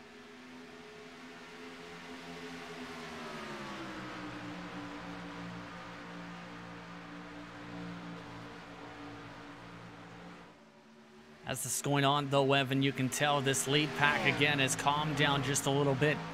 It's a matter, though, of how long it stays calm. There hasn't been too, too much fuel saving as I think I may have expected here in this grouping. They're pushing like they're expecting they can make it to the end here. Like we said, it's going to be tight in these big clusters of cars, I have to imagine, Justin, is going to make it more difficult for drivers to save because if you're constantly fighting, you can't really focus on conserving. Not as much as you think. If you try to go single file, you can use the draft to save fuel. But compare that to, say, fighting side by side multiple times where you're trying to smash the throttle down to clear by somebody.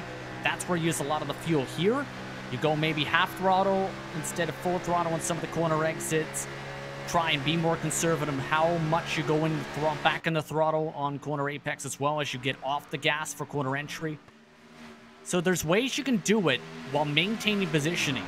But if you feel a lot of pressure where they're side by side, that's where I think drivers are going to start panicking.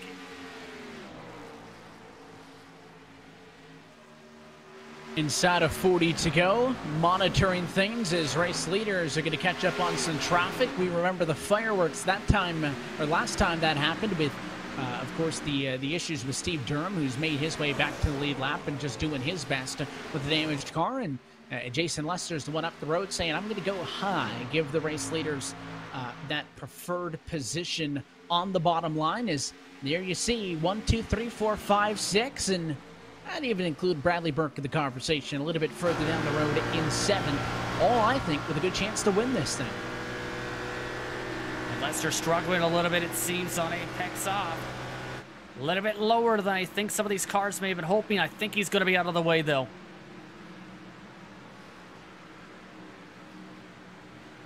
And you can see the advantages. Of course, none of the race leaders were side by side at the moment. So that helps as well as it, it keeps it at, at minimum a two wide situation, of course, uh, it can get a little bit more sketchy, like it did in the case of Steve Durham there, because those lead lap cars were actually battling with each other while they were trying to get around the lap traffic. And of course, that really only further complicates things uh, in these situations. But 36 to go. I'm continuing to watch the number to see if I can notice drivers being uh, any more conservative with the, you know, aggressiveness and trying to save. And admittedly, the way these cup cars race, Justin, when they are, you know, so uh, kind of momentum dependent, is it's hard to save fuel. And, you know, as long as you aren't fighting, maybe being in one of these groups, that is single file, as you noted, could help if you're towards the back.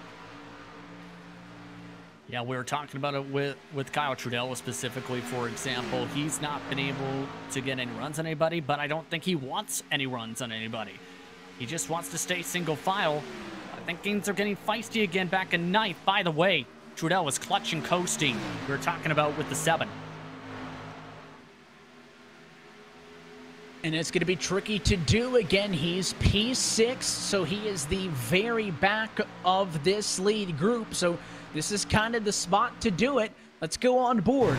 Kyle Trudell as he runs in the number six spot.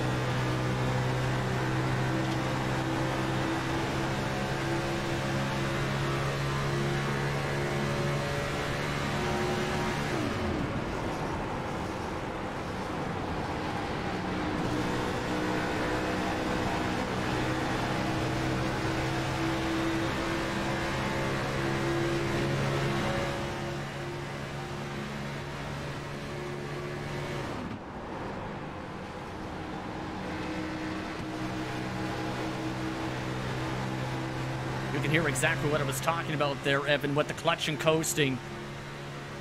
Every single quarter entry, letting it roll for about three, four seconds, then getting back on the gas. The downside is it burns up the right front a little bit with how much speed you're carrying more on quarter entry. Some drivers talking over the radio as maybe pit stops for the likes of David Washington and others. He and Sam Nieto on pit road, they don't think they could make it as they pit with 32 laps to go, side by side down pit road. And could this influence more cars to come in?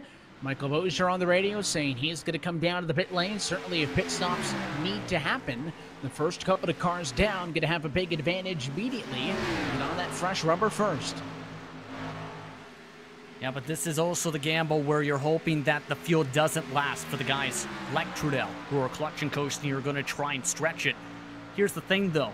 They're going to be losing a lot of time by trying to save the fuel. Already nearly two full seconds, as we talked about, on the fall off on these tires. One's coming in.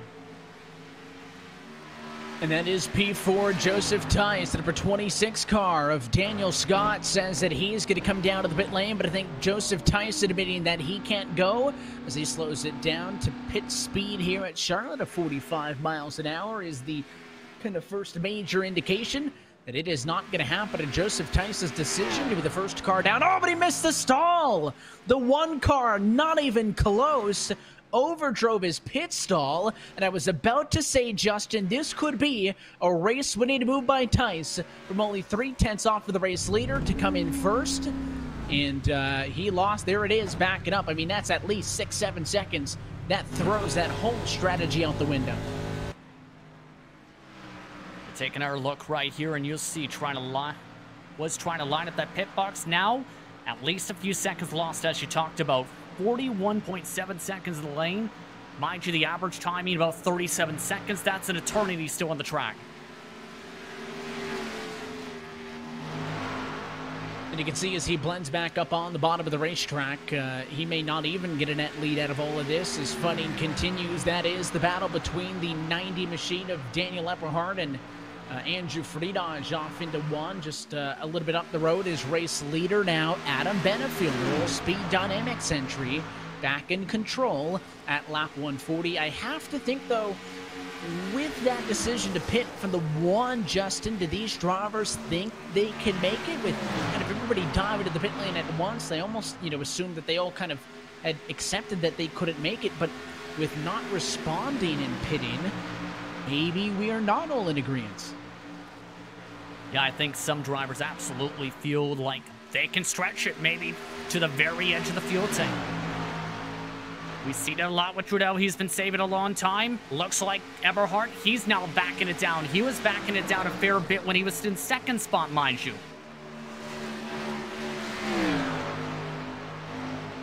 More drivers say that they're going to be coming to the pit lane, but they are not the lead cars from Charlotte. The first car who pitted, David Washington. Remember, we saw the 98, the two car down, down to the pit lane? Well, uh, David Washington's the net leader in all of this. In fact, actually just got past. There it is with Sam Nieto.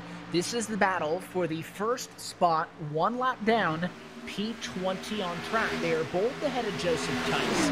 I think a lot of that is because Tice threw away so much time on pit road, but this could be a battle, if not for the race win, a battle for a good finishing position, depending on how all this plays out, as now Washington takes it back from the two.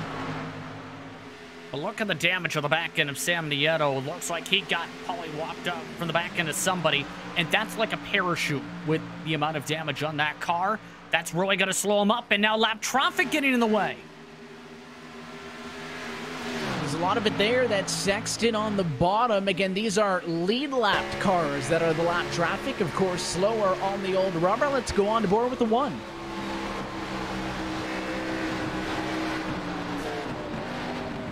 Oh, he's into the outside wall. That was Tice who drops to the apron to hang on. No yellow. We stay green as the 13 and the 2. We remember the incident that happened earlier, Justin, after it was Nieto who hit Sexton.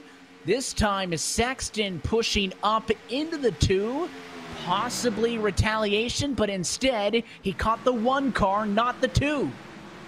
I don't think that was intentional, just pushed up the track. And it ends up collecting both of them, losing tons of time. Tice getting the worst of it, obviously, with that hard smack to the outside wall.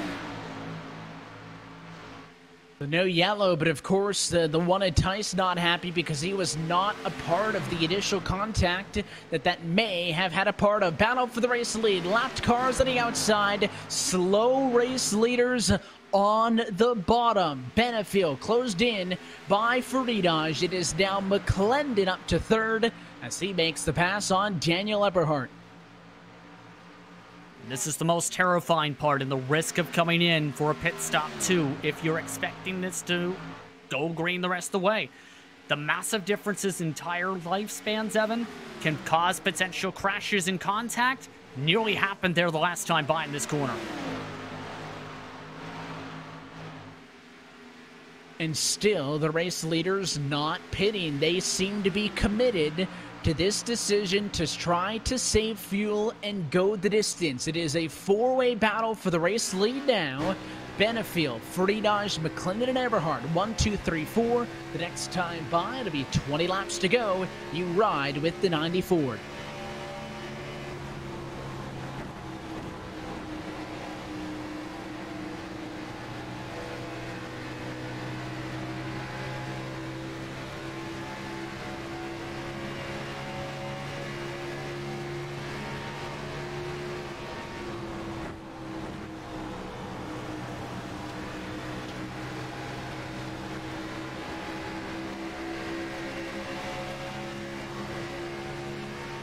Contact right there as that was Eberhardt into the back of McClendon. He apologized over the radio. Fight for the race lead up the road. Faridaj looking to the inside on Benefield. Side by side at a turn four. A little bit of a squeeze there. Benefield not giving too much space to Freenosh, one of the top drivers in RTP points. And he is really making him squeeze down on the inside line. And for the moment, it pays off because Benefiel stays in front. Now here comes Eberhardt. Just past McClendon. Now to the outside of the 88. And a battle for P2 is going to have the run off of the quarter. There is faster lap traffic, though, entering the picture. Here comes David Washington, the lead car on fresh tires. Can he find a way through? Looks like, yes, that's the smart move by all the lead cars. Move out of the way quick. Allow Washington to zip around the top. And you can see that's where the lap traffic finds the way through. It almost pins Benefiel to the bottom. Now Eberhardt going to get to that outside for the race lead. Slow on the enter to turn number three. If he can keep a nose there on exit, he's got an opportunity. And here comes Eberhardt side by side with Benefiel for the race lead. Ferdinand watches from third, that time at 17 laps to go.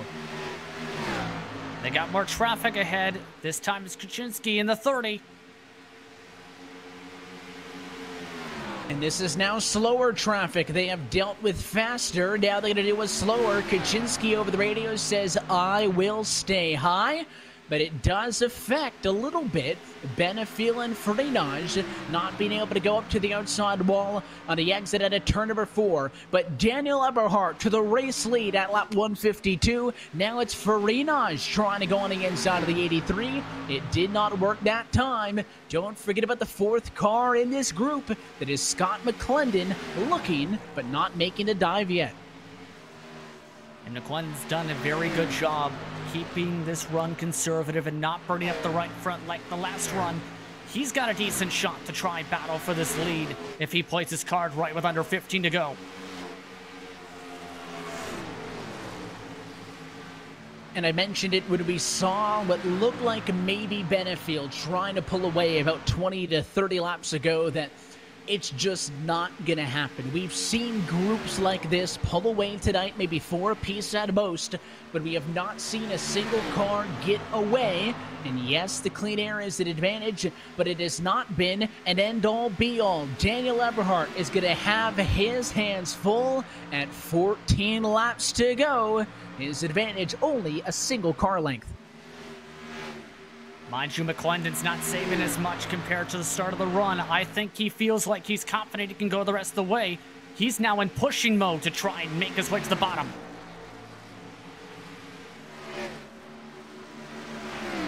And you can see, I think Frida is going to be the most aggressive one here. Benefiel dropping back just a little bit. Here comes now McClendon, the 83, back the 88 car up, and McClendon going to benefit. He goes to the inside for third. Not all the way clear. Nearly went to the inside of Benefiel at the same time.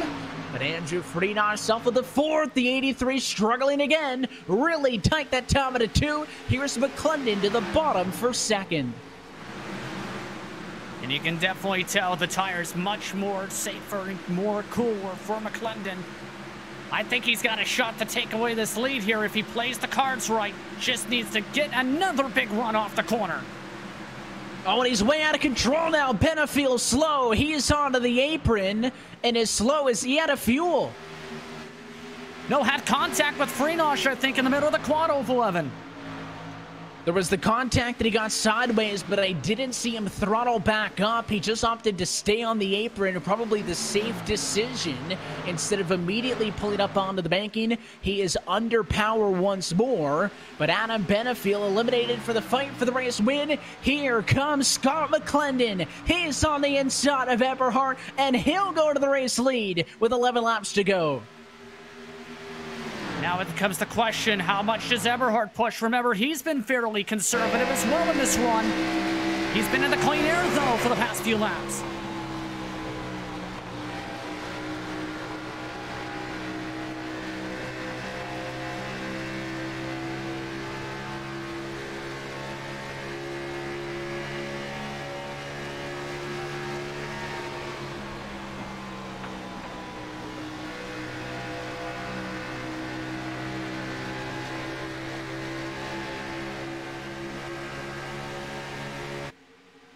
You can definitely tell at this point, Evan, with the amount of blocking we're seeing right there from Eberhardt, He feels any lap traffic could cost him. This time it might help him. That was the 55 machine on the bottom. He nearly got tagged by Rhett Nichols, who's the first car a lap down, trying, I think, to work his way through. Nichols is on fresher tires, but is caught in the middle of a battle for the race lead, and it does help him because now McClendon's advantage over Eberhardt about four car lengths. Yeah, but here's the problem. McClendon has to give up that bottom. Here comes Eberhardt, backing up the corner, trying to build up an air big run. And now that the 55 is through, he is unobstructed. Two car lengths the difference that time by. It was eight laps to go from Charlotte. Should these top two come to blows, do not forget about Friedage a half a second back as the 90 looks to the outside. Massive run here. Has to be really focused, McClendon, at this point. Ever trying the top side for the lead. You got the nose there to turn number three. You look at Scott McClendon. He is working hard, searching for the first race win of 2020. But Eberhardt, the nose in front to turn number one. They are dead even, door to door for the race win at Charlotte. But at a turn two, the run gives it. Daniel Eberhardt goes to the point. Next time by, six laps to go. Can Scott McClendon counter? And Eberhardt getting a bit tight now, off the corner a little bit. McClendon now has the chance to draft by. He's going to draft right up and onto the bumper. The 90 use the outside to go to the race lead. What would Scott McClendon's choice be if he can get there? Would he go high? Would he go low? You can see behind Friedage just kind of left the picture. There is another lapped car, though, as well. Steve Soa, significantly fresher tires, is trying to safely tiptoe on by on the outside. Not sure he's going to commit to it. This time by going to be five laps to go. He may just lay back to let McClendon go at Eberhardt. Yeah, I think that's the smart move. He's been holding up Freenotch just a little bit. That's how. That's why Freenotch lost five, six car lengths in the span of 10 laps. But in the next four laps, McClendon's got to find a way to close back up this gap. I think he's trying to save for one last burst of speed. Of course, we mentioned the fact that Scott McClendon looking to for a race win. Daniel Eberhardt, of course, race winner earlier this year. And a similar racetrack, the one and a half mile for round three at Atlanta Motor Speedway. Looking for, again, on the line for him, three additional bonus points to open the round of 16, and he is pulling away and at turn number two. More drivers back in the pack, continuing to trickle down pit road. If the leaders were to run out, David Washington in 11th would stand to benefit. But with three laps to go, they are so close to making the fuel strategy work as it's a huge run for the 22. And now McClendon's backing off all of a sudden. Maybe too much of a burst. Wasn't going to be able to make the move there if he stayed on the back bumper. And on the iRacing service, these drivers know exactly how many gallons left they have. It'll also give them an estimate on how many laps that is going to last. Can they go the distance? If they can't, it may not even fall back way to Washington. Somebody outside of the top two who hasn't been in a big battle may have had an opportunity to save more fuel. That time by, it was two laps to go. The game of checking up front in a battle for the win and the fight against the fuel. And I think with the way these drivers have been pushing, it's going to be right down to the final straightaway. It might come down to some clutching. McClendon really backing it down off the corner. He's out. He is really slow. He's out. Scott McClendon's not going to be able to make it at one and a half laps to go. The 22 car is forced down pit road. White flag for Daniel Eberhardt. This race is official. Now, does Eberhardt have enough fuel is going to be the major question here. Andrew Friedage, just seven tenths of a second off if the 90 machine could make it the rest of the way.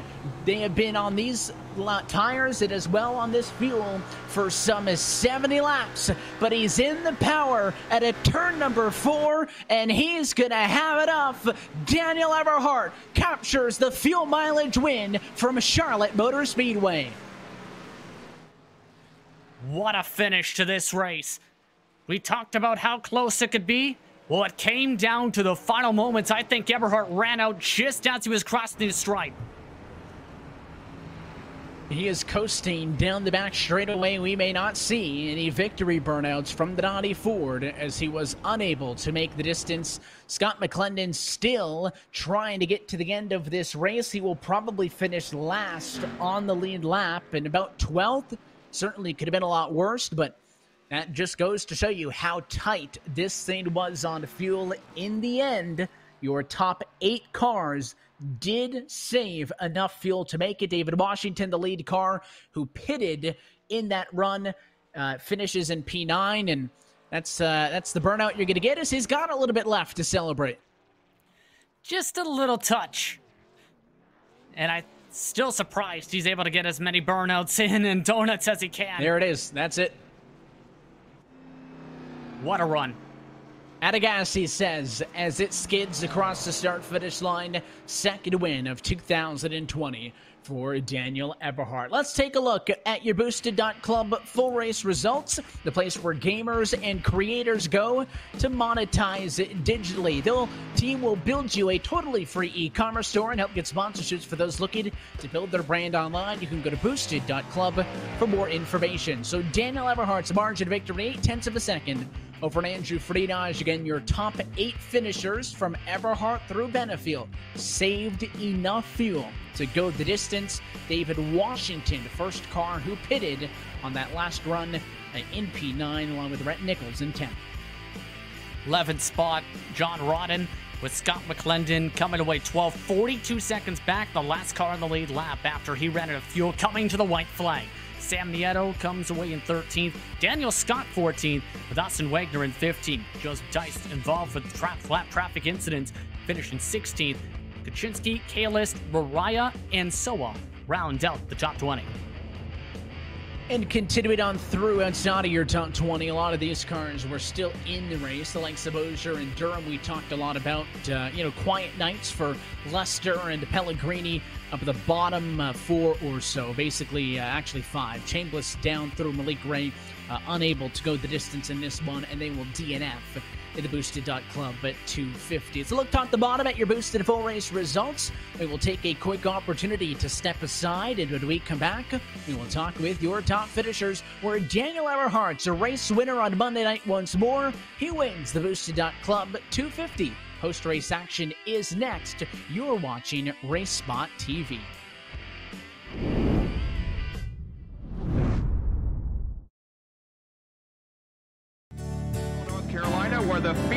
Rolling out for the start of today's 400 lap race on this 0.625 mile racetrack. Here's the starting lineup. On the pole from Dawsonville, Georgia, in the number 9 Coors Ford qualifying and Winston Cup race from North Wilkesboro is underway. Everybody nicely through turns number 1 and 2 as Bill Elliott has the lead and Dale Earnhardt has jumped into second position, followed by Benny Parsons and Bobby Allison.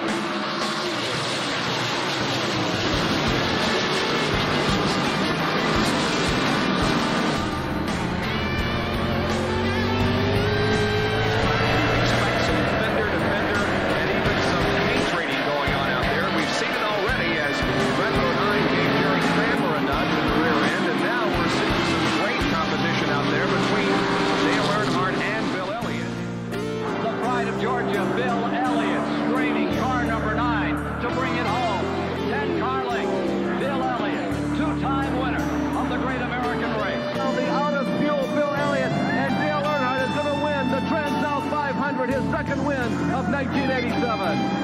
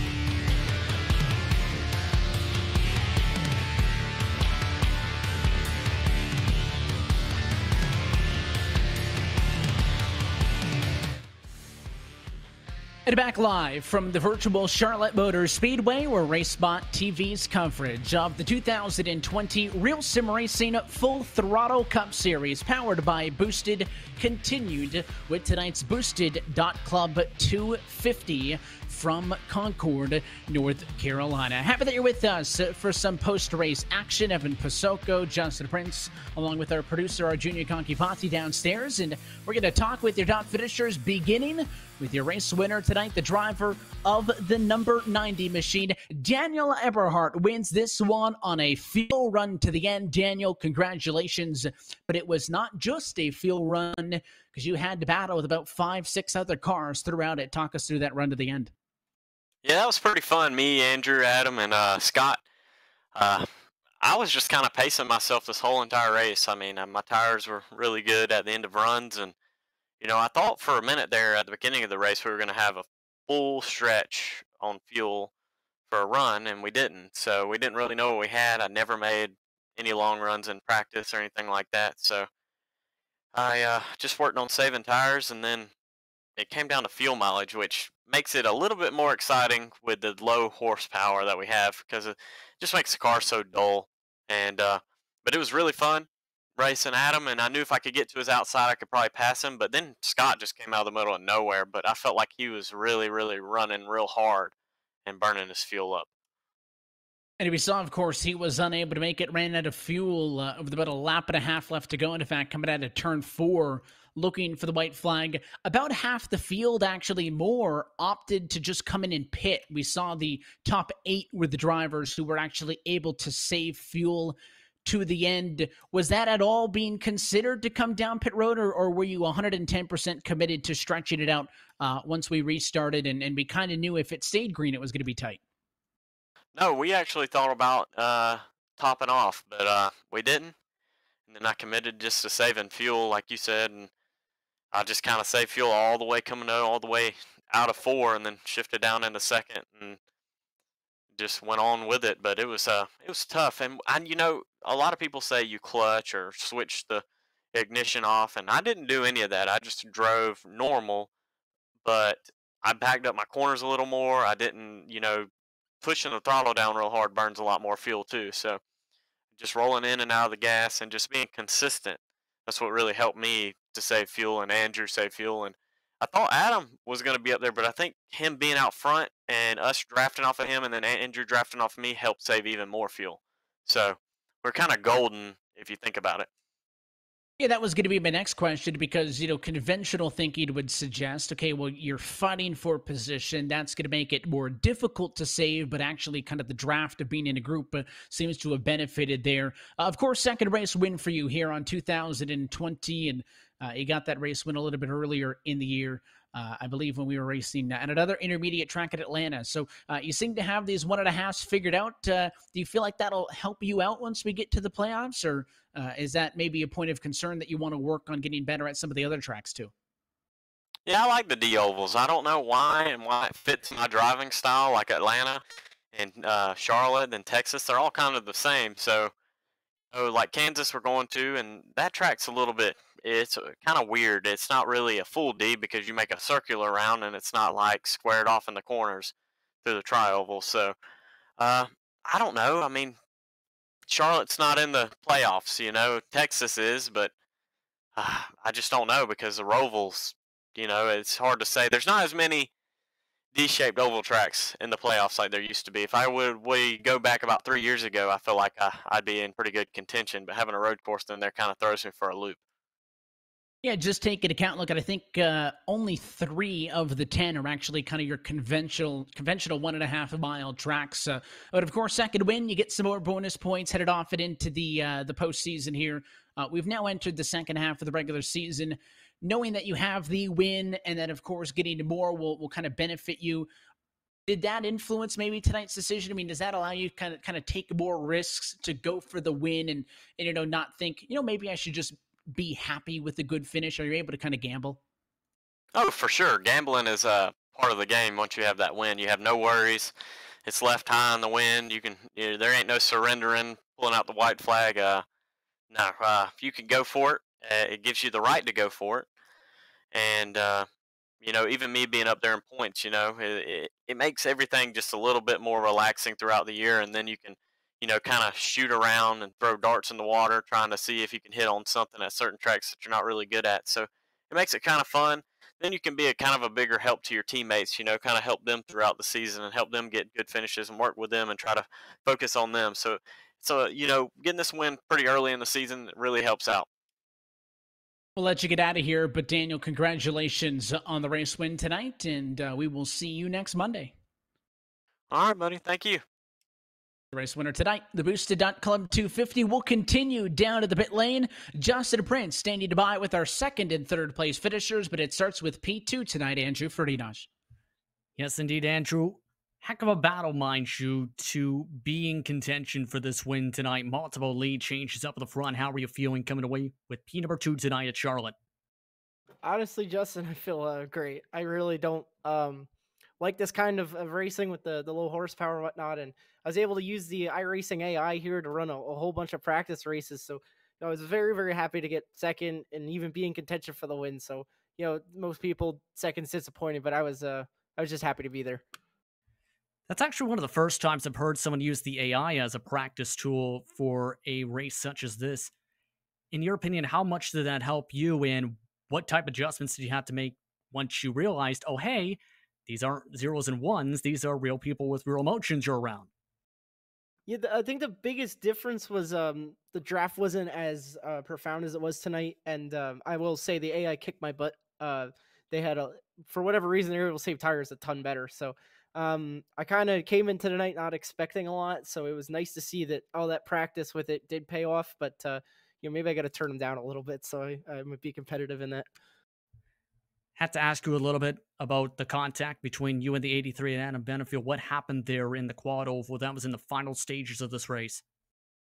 Yeah, I was um I was able to get to him uh, before Daniel got by both of us, and I was trying to get the lead, and we were just racing so hard, and uh, you know the the opportunity opened up. I was trying to pin him behind that lap car, and uh, I thought I held my line. I may have come up a little. He may have come down. I, I think it was a racing deal. I apologize to him. You know that kind of ruined his night, and that's the last thing I want to do. So uh, yeah, that's what I saw from my perspective. Mind you, it was also a fuel mileage race. Just curious, what was your fuel situation like? Because Eberhardt talked about he was thinking of topping off. What was your thinking process in that? Yeah, I was talking to everybody uh, under that caution. I was able to do 67 laps in the practice tonight, so I said you're gonna have to save a lap or two. And um, I, I, noticed when we came off pit road, I was trying to coast the thing, I was shutting it off, and I didn't, you know, not a lot of other people were doing that. So I think that they definitely gave me an advantage over everybody, but just not enough. Daniel was able to, to save and save tires enough, and uh, he pulled out the win there. Mm-hmm. Now, next race on the calendar is going to be an interesting one because not only is it at Kansas, which just finished its official racing this week, it's going to be completely different potentially from what was seen in said week because adjustments to the tires, new damage model, adjustments to dynamic track, for example, Mind you, new sound engine coming in as well. A lot of potential changes. Your thoughts on what to expect to see at Kansas? Yeah, I really don't know. That track um, typically is one lane around the top, and I've heard um, at least through the AI they're running the bottom. So maybe we'll be able to uh, spread out and run different lanes and everything else. So uh, the new damage model, it's going to make it interesting. If you tap the wall, maybe your car won't be okay. You know, um, I, I, really haven't seen any videos of it. I'm excited to see what it is like tomorrow, and uh, we'll see how it affects it. But yeah, I think um, you know, you never know with these builds. You just got to uh take it one day at a time. And uh, you know, when we download it tomorrow, I'll definitely be practicing, trying to figure it out. Anyone you want to thank before we let you go? As always, you guys, best uh, best people in the business. Um, uh, everybody on um, Aegis, everybody low line for the Road to Pro, and um, all the fans are watching. That was a really good show from in the car. I hope everybody enjoyed it, and uh, my family for putting up with this hobby. Congratulations on the P2. I think your family is proud of you either way. Congrats. Thanks so much, guys. Andrew Freenach coming away in P number two. Kyle Trudell was saving a ton, though, in P3. You were one of the biggest fuel savers of that entire green flag run. First of all, how are you feeling coming away with the P3 after so much clutch and coasting? Yeah, thank you, man. Uh, really good, actually. Uh, you know, of course, a little bit surprised. I think uh, I probably would have ended up P4, given that Scott ran out with about a lap to go, and uh, you know, um, Adam looking like he maybe him and uh, Andrew made a little contact. So I probably would have ended up P4, but um, you know, I'll take the P3 anytime for sure. Now, what was your decision making when it came to that long, long green flag run to end the race, just about a lap or so outside the fuel number? Because most drivers were letting the car roll in in less on throttle time and apex off. You were going full clutch and coasting. Yeah, I figured um, I would have needed to save at least two laps um, as it was. And so I started saving right away under caution. And Then we went green and, uh, you know, pretty much just tried to hold my own until I got into a spot where we single filed out and um, I could start saving. Um, but yeah, I was clutching it. Um, you know, I wanted to use that technique just to be, make sure that I could make it um, and then hopefully try to go when the time was right. Um, but I think what I failed to do was was save my right front enough because um, I actually had about a little over a lap saved. Uh, so I saved quite a bit, too much. yeah, that's one of the risks with clutch and coasting is burning up that right front with the extra speed, absolutely. But for the next race, Kansas, but it's after a new build. One of the main adjustments will be said tires that you were trying to keep cool down with the right front. Your thoughts on the expectations for Kansas, especially with an all new build coming? should be really interesting, especially that that track you know lends itself. We just had it uh, last week, and uh, lends itself to being a, top groove racetrack and a lot of slide jobs, things like that. So um, I think it'll be really interesting. As long as the, if the tire is super different, then um, it's gonna be a really interesting race next week. I'm looking forward to it. Anyone you want to thank before we let you go? I'll give a shout out to uh, my brother and uh, mom, family watching out there. My my wife, uh, for giving the opportunity to uh, spend a couple hours doing this, and, um, and thank you guys for for broadcasting and putting on a great race. Really, really fun to watch. Congratulations on bringing home that beautiful blue car in a P3 finish. Yeah, appreciate it. That was Kyle Trudell coming home in third. Back over to you, Evan. I'd appreciate you talking to second and third because we now have updated points coming outside of this evening. Again, if you just go based solely on points and not the playoff positions, uh, Rhett McBride misses tonight. He falls four to seventh. Uh, you know, there's a lot of movement as well around the playoff cut line. But we mentioned Scott McClendon, Justin, even though it was a disastrous ending to the race, as he falls to 12th, he still gains three spots in the points. And He's going to be 13th. So that puts him above the cut line. Uh, that's a big up for him. Uh, and maybe gives him a positive to take out of this one when I'm sure he's feeling down after running out of fuel coming to the white flag. Yeah, he did very, very strong and solid tonight. If he had that extra lap of fuel, there's a chance I think he's the man who wins this race tonight because he played the cards very well. He on that last run, he looked like he had the better tires. He just didn't have enough fuel with how hard I think he was pushing for that race lead up in the final stages. Curious to see how he rebounds at Kansas. Eric Stanford drops a spot. He now is the bubble driver, three points ahead of Michael Kaczynski, 17th at the points, who gained two. Uh, big losses for Bobby Cheney and Grant Davis, who DNS this one. They both fall four spots. Cheney falling 21st in the points and Davis to 24th position. Of course, we continue on next Monday and we stick with the intermediates. Justin, we talked about how little of them that there are in the playoffs, but if you count this evening, one and a half mile racetracks make up uh, four of the next six races. You got Charlotte, Kansas. It is split apart by Sonoma, Pocono, and Indy, but the back to Kentucky and Chicagoland. Uh, so opportunities for drivers who are fans of these tracks to make up points now and again. Next race out, Kansas next week on the 8th. Yeah, Kansas is going to be fun. It was talked about a little bit by Andrew. The bottom line came in by midweek. Drivers were trying both the bottom and the top line. So I think there's a chance we see multiple groups come in to play at different points of the run.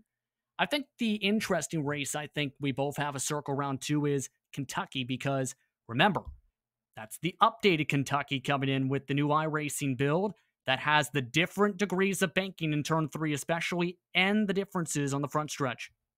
And of course, not only are the tracks on that schedule changing to be updated, but these cars will be different. New damage model that could affect how racing through damages, new tire updates as well.